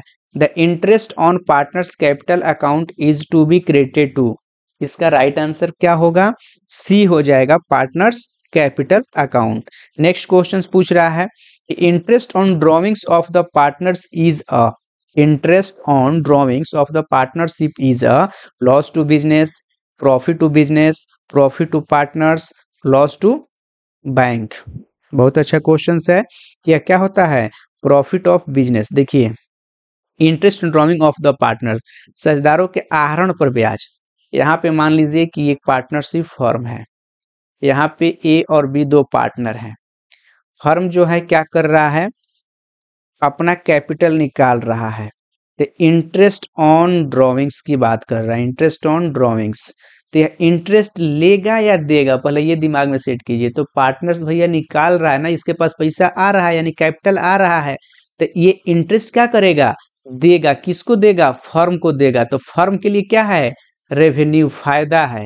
लेकिन पार्टनर्स के लिए क्या है? यह लॉस है।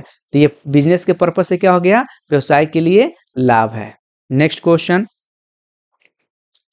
साझेदार का चालू खाता खोलना चाहिए जब पूंजी हो। Current account of the partner should be open when capitals are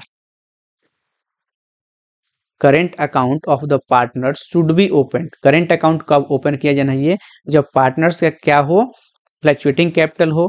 fixed capital हो सर्कुलेटिंग हो नॉन ऑफ़ दिस तो सबसे पहला चीज़ आप समझ लीजिए कि जब पार्टनर्स का कैपिटल फ्लक्चुएटिंग हो, क्या हो?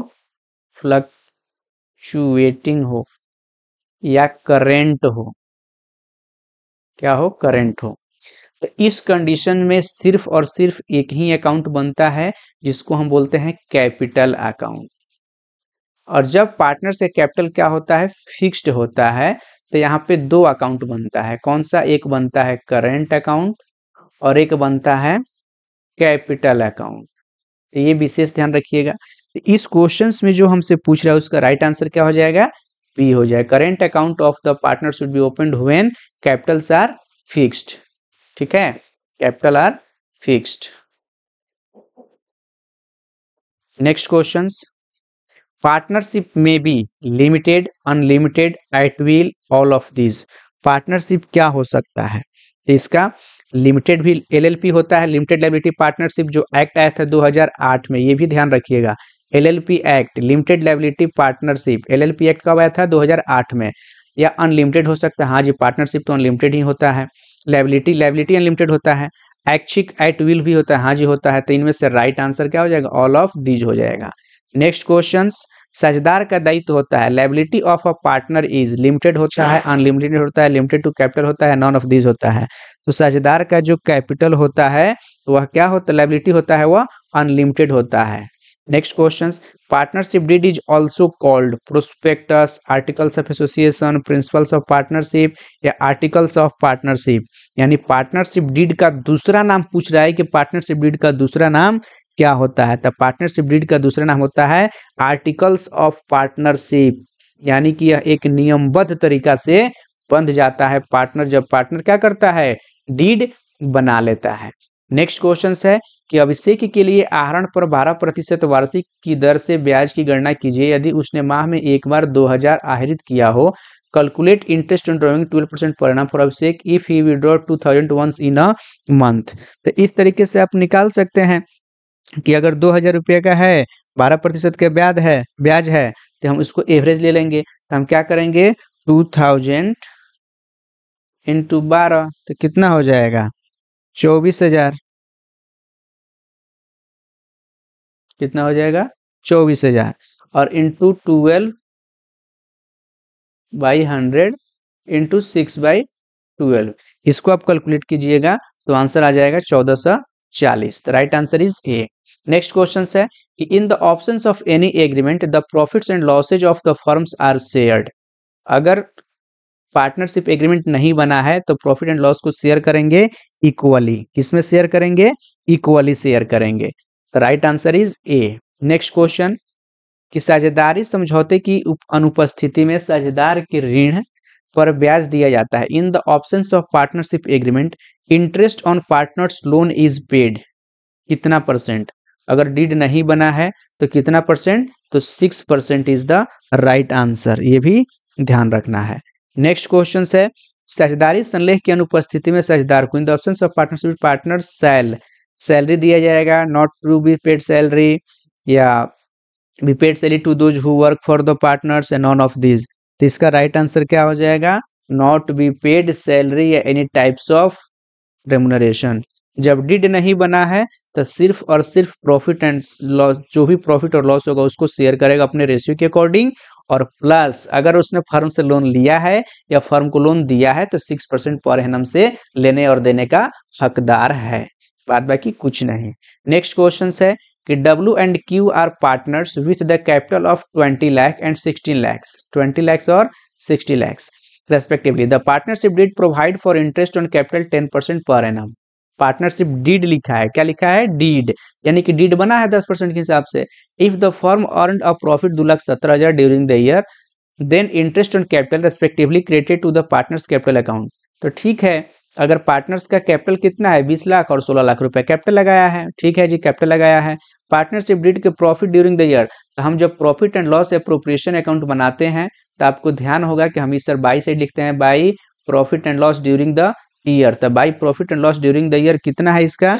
दो लाख सत्तर हज़ार रुपया ड्यूरिंग द ईयर है। तो हमसे क्वेश्चंस में पूछा जा रहा है कि in then interest on capital respectively created the partners capital account तो पार्टनर्स कैपिटल अकाउंट का कितना कितना इंटरेस्ट जो है पार्टनर्स के कैपिटल में क्रेडिट किया जाएगा। तो इस तरीके से जब हम निकालेंगे, जो भी खर्चे आएगा, उसको हम क्या कर देंगे? मेंशन कर देंगे। तो एक लाख पचास हज़ार और एक लाख बीस हज़ार इज़ द राइट आंसर हो जाएगा, क्योंकि इसी में हम क्या करेंगे? इसके रेशियो में हम डिस्ट्रीब्यूट कर देंगे। रेशियो सर तो दिया ही नहीं है यहाँ पे लिखा है ना डब्ल्यू एंड क्यू और पार्टनर्स विथ कैपिटल इतना इतना रेस्पेक्टिवली तो हम कैपिटल के रेशियो में डिस्ट्रीब्यूट कर देंगे, यानी कि चार चौका सोलह, चार पचे फाइव इज़ टू फोर के रेशियो में इसको हम क्या करेंगे? डिस्ट्रीब्यूट कर देंगे। यहाँ बोले तो हाँ ठीक है। चार पचे बीस five is two four ratio में डिस्ट्रीब्यूट कर देंगे। नेक्स्ट क्वेश्चन है। In the option of partnership agreement interest on partners loan is paid by the firm at the rate of कितना परसेंट भाई? तो इसको हम बोलेंगे six percent per annum next question in partnership form profit and losses are shared साझेदारी form में लाभ हानि का विभाजन किया जाता है। Equally in the ratio of capital as per agreement none of this तो जब कुछ भी वर्ड मेंशन नहीं किया हो तो हम क्या वर्ड बोलेंगे? एज पर एग्रीमेंट क्योंकि यहाँ in the option of partnership नहीं लिखा है इन पार्टनरशिप फॉर्म लिखा है। In partnership form profit and loss are shared as per agreement next question which one of the following is not the feature of partnership निम्न में से कौन साझेदारी की विशेषता नहीं है? निम्न में से कौन सा साझेदारी की विशेषता नहीं है? तो इसका राइट आंसर क्या हो जाएगा? लिमिटेड लाइबिलिटी लिमिटेड लाइबिलिटी नहीं होता है, इसमें क्या होता है? अनलिमिटेड लाइबिलिटी होता है, क्योंकि हम एग्रीमेंट करते हैं हाँ जी शेयरिंग ऑफ़ प्रॉफिट होता है हाँ जी टू और मोर पर्सन टू या मोर देन टू पर्सन हाँ जी, होता है। ये सारा होता है बट लिमिटेड लाइबिलिटी नहीं होता है। Next question profit and loss appropriation account is prepare to profit and loss appropriation account prepare किया जाता है। लाभ, हानि, वियोजन, खाता बनाया जाता है। Create reserve fund find out net profit find out divisible profit none of this इसका राइट आंसर क्या हो जाएगा? डिविजिबल प्रॉफिट अच्छा एक चीज़ हमको बताइए यहाँ पे कि प्रॉफिट एंड लॉस अकाउंट और profit and loss appropriation account इसमें डिफरेंसेज क्या है? तो देखिए, इसका प्रॉफिट एंड लॉस अकाउंट का जो प्रॉफिट होता है ना, यह डिविजिबल नहीं होता है। और profit and loss appropriation account का जो प्रॉफिट होता है, यह डिविजिबल होता है। पहला पॉइंट दूसरा पॉइंट ये होता है कि यह सोल ट्रेडिंग बिज़नेस के द्वारा बनाया जाता है और यह पार्टनरशिप फर्म के द्वारा बनाया जाता है। Profit and loss appropriation account जो होता है, यह एक्सटेंशन होता है प्रॉफिट एंड लॉस अकाउंट का। तो डिफरेंस भी अगर आपसे एग्ज़ाम में क्वेश्चन पूछता है तो इसको आप इजिली बता सकते हो, कर सकते हो। चलिए, next question in a partnership firm, the maximum number of members is, in a partnership firm, the maximum number of partners is. कितना हो सकता है? मैक्सिमम की बात कर रहे थे मैक्सिमम सर फिफ्टी हो सकता है, मिनिमम पूछता तो दो हो जाता। Next question, the interest on capital account of partners under fixed capital method is to be credited to. किसमें क्रेडिट करेंगे? पार्टनर्स करेंट अकाउंट में जी। हाँ जी हाँ जी हाँ जी हाँ जी। ठीक है जी, ठीक है।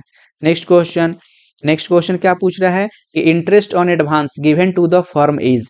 साझेदारों के द्वारा फर्म को दिए गए अग्रिम पर ब्याज है। एन अप्रोप्रिएशन है अ गेन है अ चार्ज है या नॉन ऑफ़ दीज है। इसका राइट आंसर क्या हो जाएगा? अ चार्ज है। क्या है यह?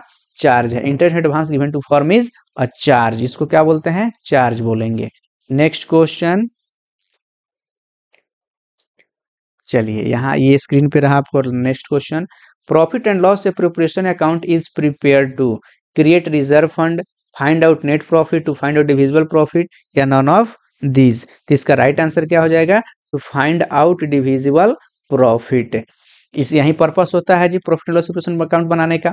Next question partners current account is open when capital of partners is maintain under क्या मेंटेन कर रहा हो भाई?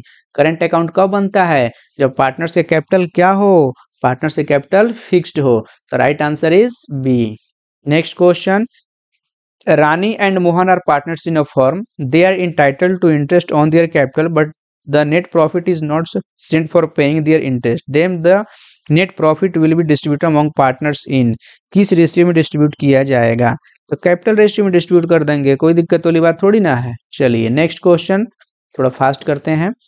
Which of the following items are recorded in the profit and loss appropriation account of a partnership form interest on capital partner salary transfer to reserve या all of these इसका right answer क्या हो जाएगा all of these next question X Y and Z are partners in a firm sharing profit in the ratio of three two two is two one during the year the firm earn profit of rupees eighty four thousand calculate the amount of profit या loss transfer to the capital account of year accounting of the year तो इसमें इसका right answer क्या हो जाएगा? Three two two का ratio दिया हुआ है। तो इसको जब आप सॉल्व कीजिएगा तो इसका आंसर आ जाएगा twenty eight thousand next question if the partners carries on the business that is similar to competition with the firm, then profit earned from it क्या पूछ रहा है कि यदि साझेदार ऐसा व्यवसाय करता है जो फर्म से प्रतियोगिता करने के समान हो तो इससे कमाए गए लाभ को क्या करेंगे? Shall be retain by the partner shall be paid by to the partner can be retain या गिव टू द फर्म या बोथ ए एंड बी इसका राइट आंसर देखिए, कोई भी पार्टनर्स फर्म के साथ कंपटीशन वाला एक्टिविटी नहीं कर सकता है तो shall be paid to the firm उसको क्या करना पड़ेगा? पेड को फर्म को पेड करना पड़ेगा। Next question which one of the following items can not be recorded in profit and loss appropriation account निम्नलिखित में से कौन सा लाभ हानि विनियोजन खाता में नहीं रिकॉर्ड किया जाता इंटरेस्ट ऑन कैपिटल हाँ जी हाँ जी हाँ जी। मैनेजर्स कमीशन नहीं। मैनेजर्स कमीशन कहा जाता है? Is the part of profit and loss account manager profit and loss account का पार्ट होता है। यह कहाँ लिखते हैं? प्रॉफिट एंड लॉस अकाउंट में, ना कि profit and loss appropriation account में।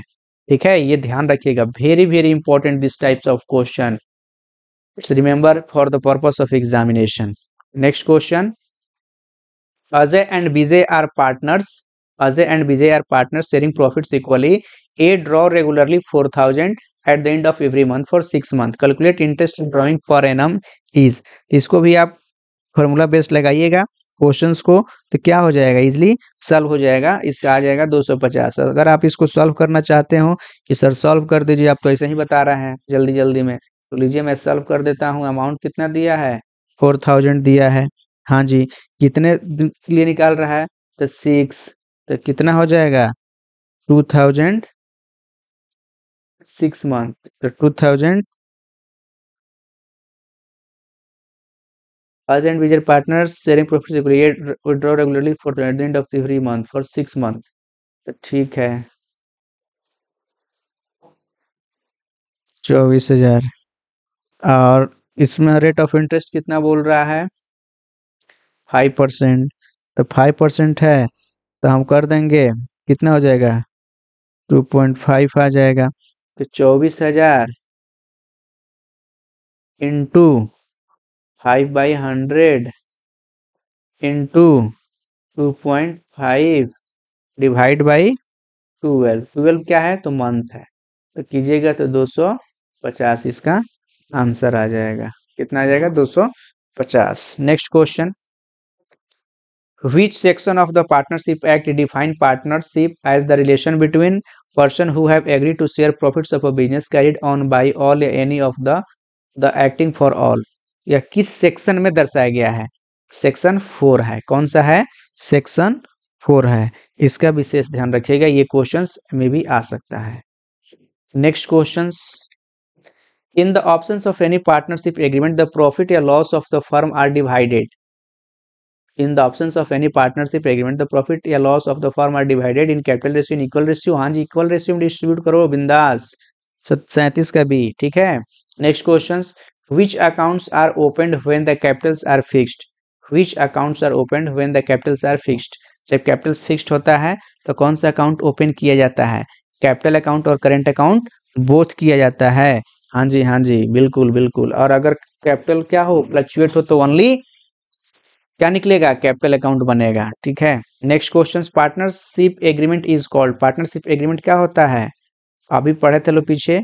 आर्टिकल्स ऑफ़ पार्टनर्स है ना? तो ये क्वेश्चन में क्या हो जाएगा? हाँ जी partnership deed partnership agreement is also called partnership deed चलिए next question a partners a partner is forms a partner is form साझेदार फर्म का होता है। ऑनर एंड एजेंट बोथ हाँ जी ऑनर एंड एजेंट बोथ होता है। कोई कंफ्यूजन वाली बातें नहीं है। तीन साझेदारों के बराबर लाभ अनुपात equal profit ratio of three partners is तीन पार्टनर्स क्या हो जाएगा? Equal partners one by three one by three ये सब क्या है? डाइवर्सिफिकेशन है इसमें, लेकिन ये one is two one is two one क्या है? One is two one is two one तो तीनों को ऐड करते हैं। One by three one by three one by three निकल जाएगा। Liability of partners is partners liability क्या होता है? Determined by partnership act unlimited limited none of this तो पार्टनर्स लेबिलिटी क्या होता है जी अनलिमिटेड होता है according to partnership act nineteen thirty two के according next question Hmm. A draw 1000 per month on the last day of every month. If the rate of interest is 5% per annum, then the total interest on drawings will be. Questions में क्या पूछ रहा है कि total drawings क्या होगा तो total drawings के बारे में पूछ रहा है चलिए हम इसको एक बार सॉल्व कर देते हैं कितना निकाल रहा है ये? तो ये निकाल रहा है वन थाउज़ेंड पर मंथ निकाल रहा है।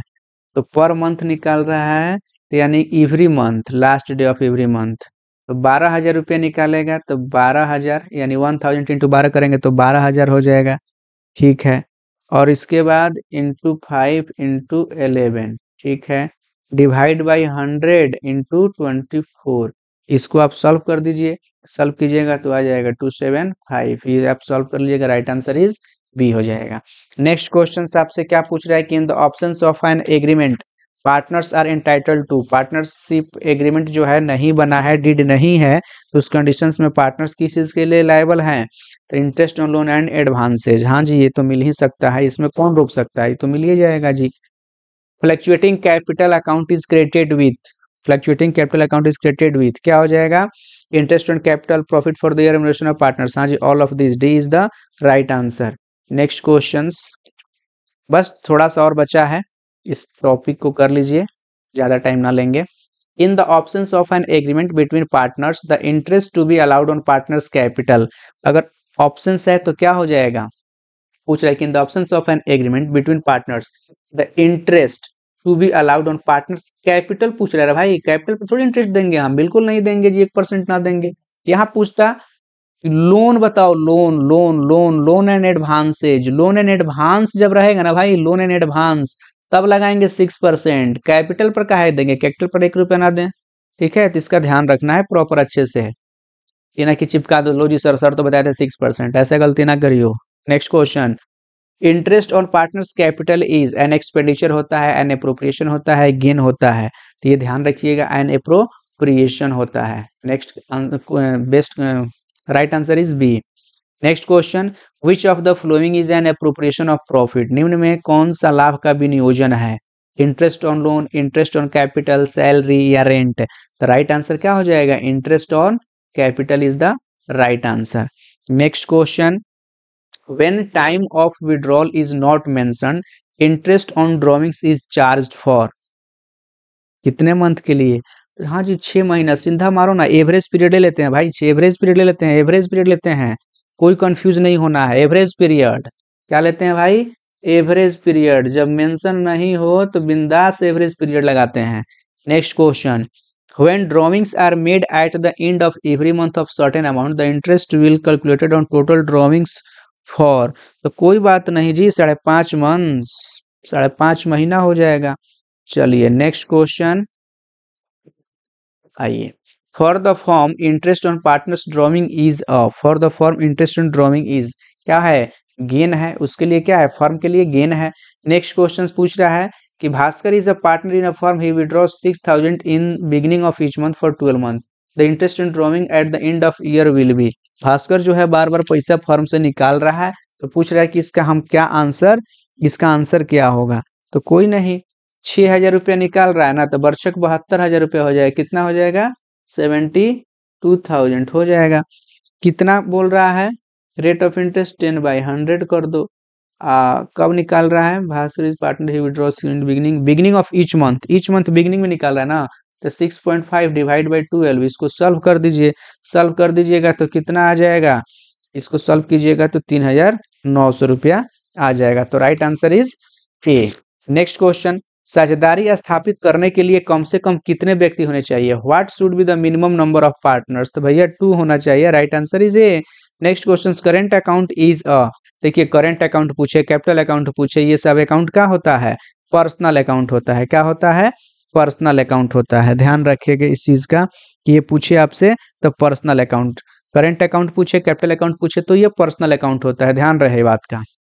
Next question the current account of the partner show partner का जो करंट अकाउंट होता है, वह क्या शो करता है? तो वह शो करता है आइदर ऑफ़ टू यानी कि डेबिट या क्रेडिट बैलेंस दोनों में से कोई भी शो कर सकता है।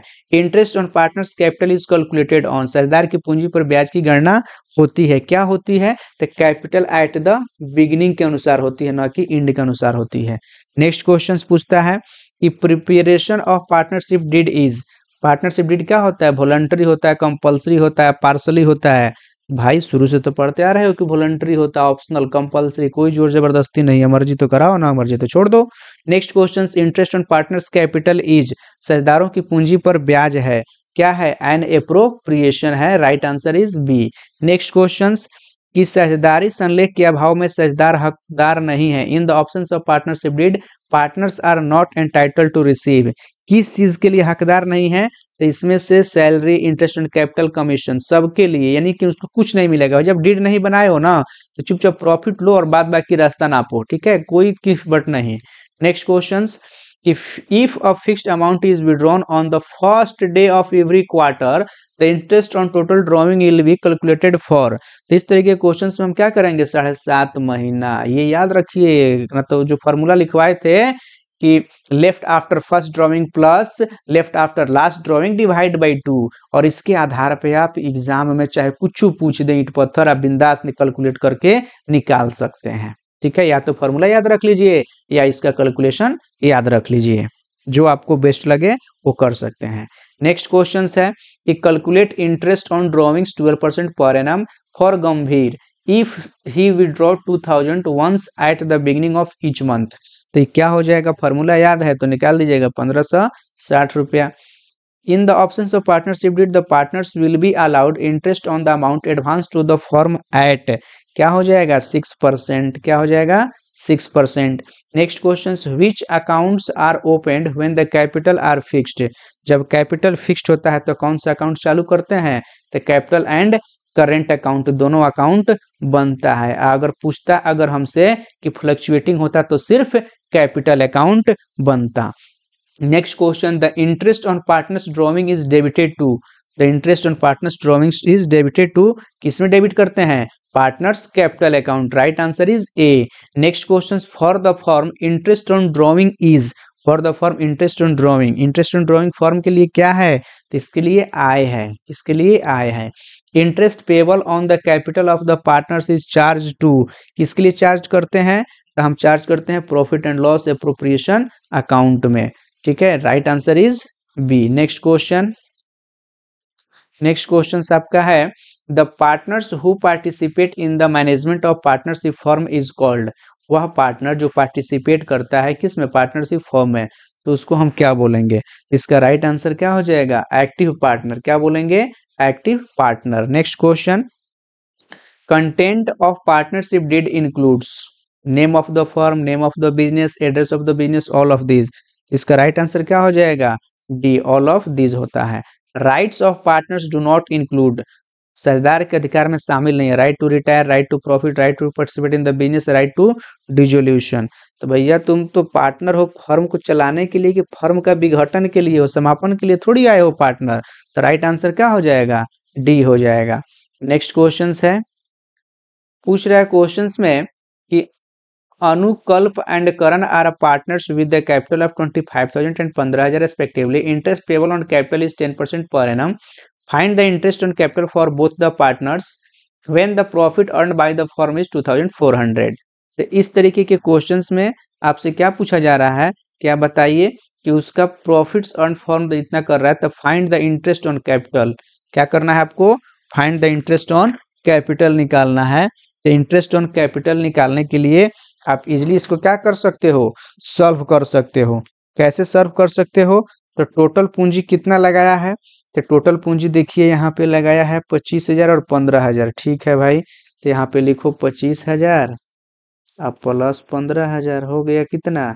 चालीस हज़ार। लो जी लो जी लो जी, ये हो गया चालीस हज़ार।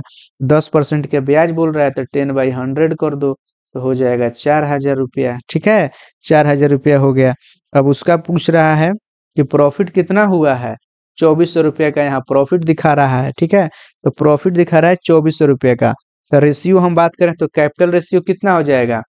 पचास पच्चीस पंती पंद्रह तो फाइव इज़ टू थ्री का रेशियो हो गया।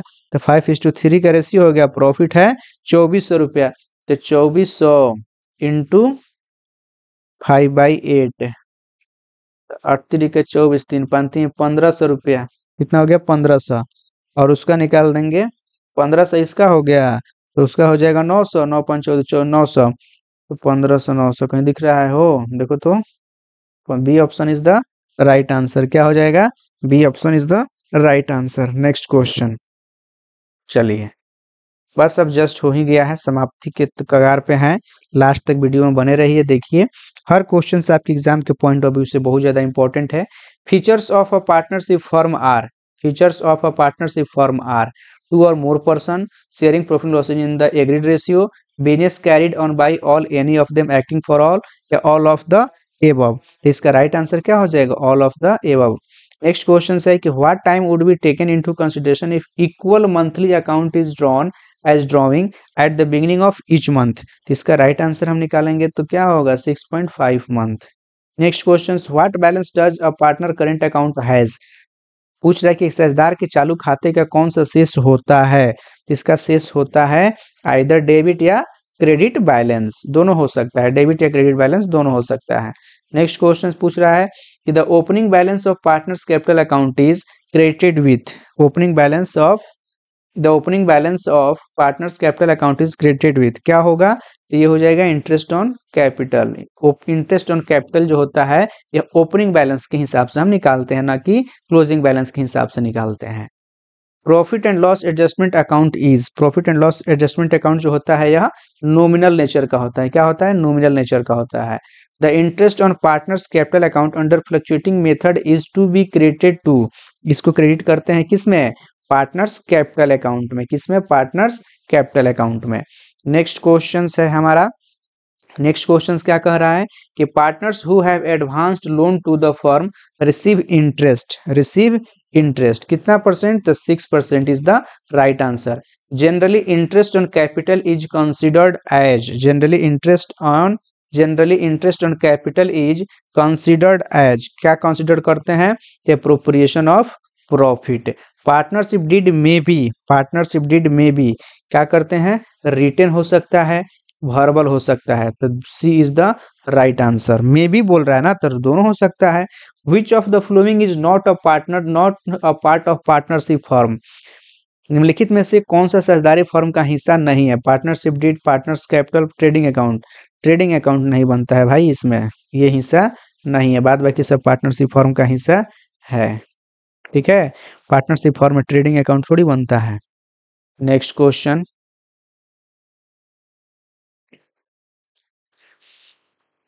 in the option of partnership deed the profit या loss will be distributed among the partners in the ratio of one is to one जब डीड नहीं बना है तो आधा आधा खाइए, ठीक है? नेक्स्ट क्वेश्चन है when partners capital is fixed जब पार्टनर्स का कैपिटल क्या हो? फिक्स हो। तो कैपिटल चेंजेस एवरी ईयर ऐसा तो कुछ नहीं है जी। Capital remains fix every year balance of capital can be negative नहीं capital remains fix every year right answer is B right answer is B next question ये देखिए। Which of the following is added to the fluctuating capital निम्नलिखित में से कौन सा परिवर्तनशील पूंजी में जोड़ा जाता है? क्या जोड़ा जाएगा? प्रॉफिट जोड़ा जाएगा। क्या जोड़ा जाएगा? Profit drawing by partners can be drawing by partners can be क्या हो जाएगा? इन कैश इन काइंड दोनों हो सकता है। वस्तु भी निकाल सकता है कैश भी ले सकता है। When capital is fixed which account is open अगर पार्टनर्स का कैपिटल क्या हो? फिक्स्ड हो तो करंट और कैपिटल अकाउंट दोनों ही ओपन होता है। तो right answer is C next question current account can be क्या हो जाएगा? Positive negative zero current account can be हो सकता है, सब हो सकता है भाई। Next question interest on capital is pay to the partners out of इसका राइट right आंसर क्या हो जाएगा? Profit out of profit interest on capital is pay to the partner out of profit ठीक है? चलिए, अब बस हम लोग कगार पे पहुँच चुके हैं। Maximum number of members in partnership under companies act 2013 is maximum number. Maximum number partnership according to, देखिए अंडर कंपनीज़ एक्ट 2013 मैंने जो स्टार्टिंग पॉइंट बताया था, वही पॉइंट है। ध्यान रखिएगा इस चीज़ का ना कि पार्टनरशिप 1932 इसका राइट आंसर क्या हो जाएगा? 88 का C next question the relationship of partners partner with the firm is that of an owner and agent owner owner और एजेंट दोनों का ऑनर और एजेंट दोनों का यानी कि स्वामी और एजेंट दोनों का ही रिलेशन होता है। तो ये हमारा पार्टनरशिप का इंट्रोडक्शन क्लास खत्म हुआ। सेकंड जो क्वेश्चन सेकंड जो हमारा टॉपिक है नेक्स्ट टॉपिक ये टॉपिक है हमारा goodwill meaning nature factors affecting and methods of valuation का। तो इस टॉपिक को हम लोग कल के क्लासेज में करेंगे। तो वीडियो कैसा लगा सेशन कैसा लग रहा है कमेंट करके ज़रूर बताइएगा कि ये वीडियो आपके लिए यूजफुल है या नहीं है। क्योंकि यहाँ से करने के बाद आपका ओवरऑल हर टॉपिक का क्या हो जाएगा, एक तरीके से कंप्लीटली रिविजन हो जाएगा। चलिए फिर हम कल इस वीडियो पे आगे कल डिस्कस करेंगे। Thank you so much for today's class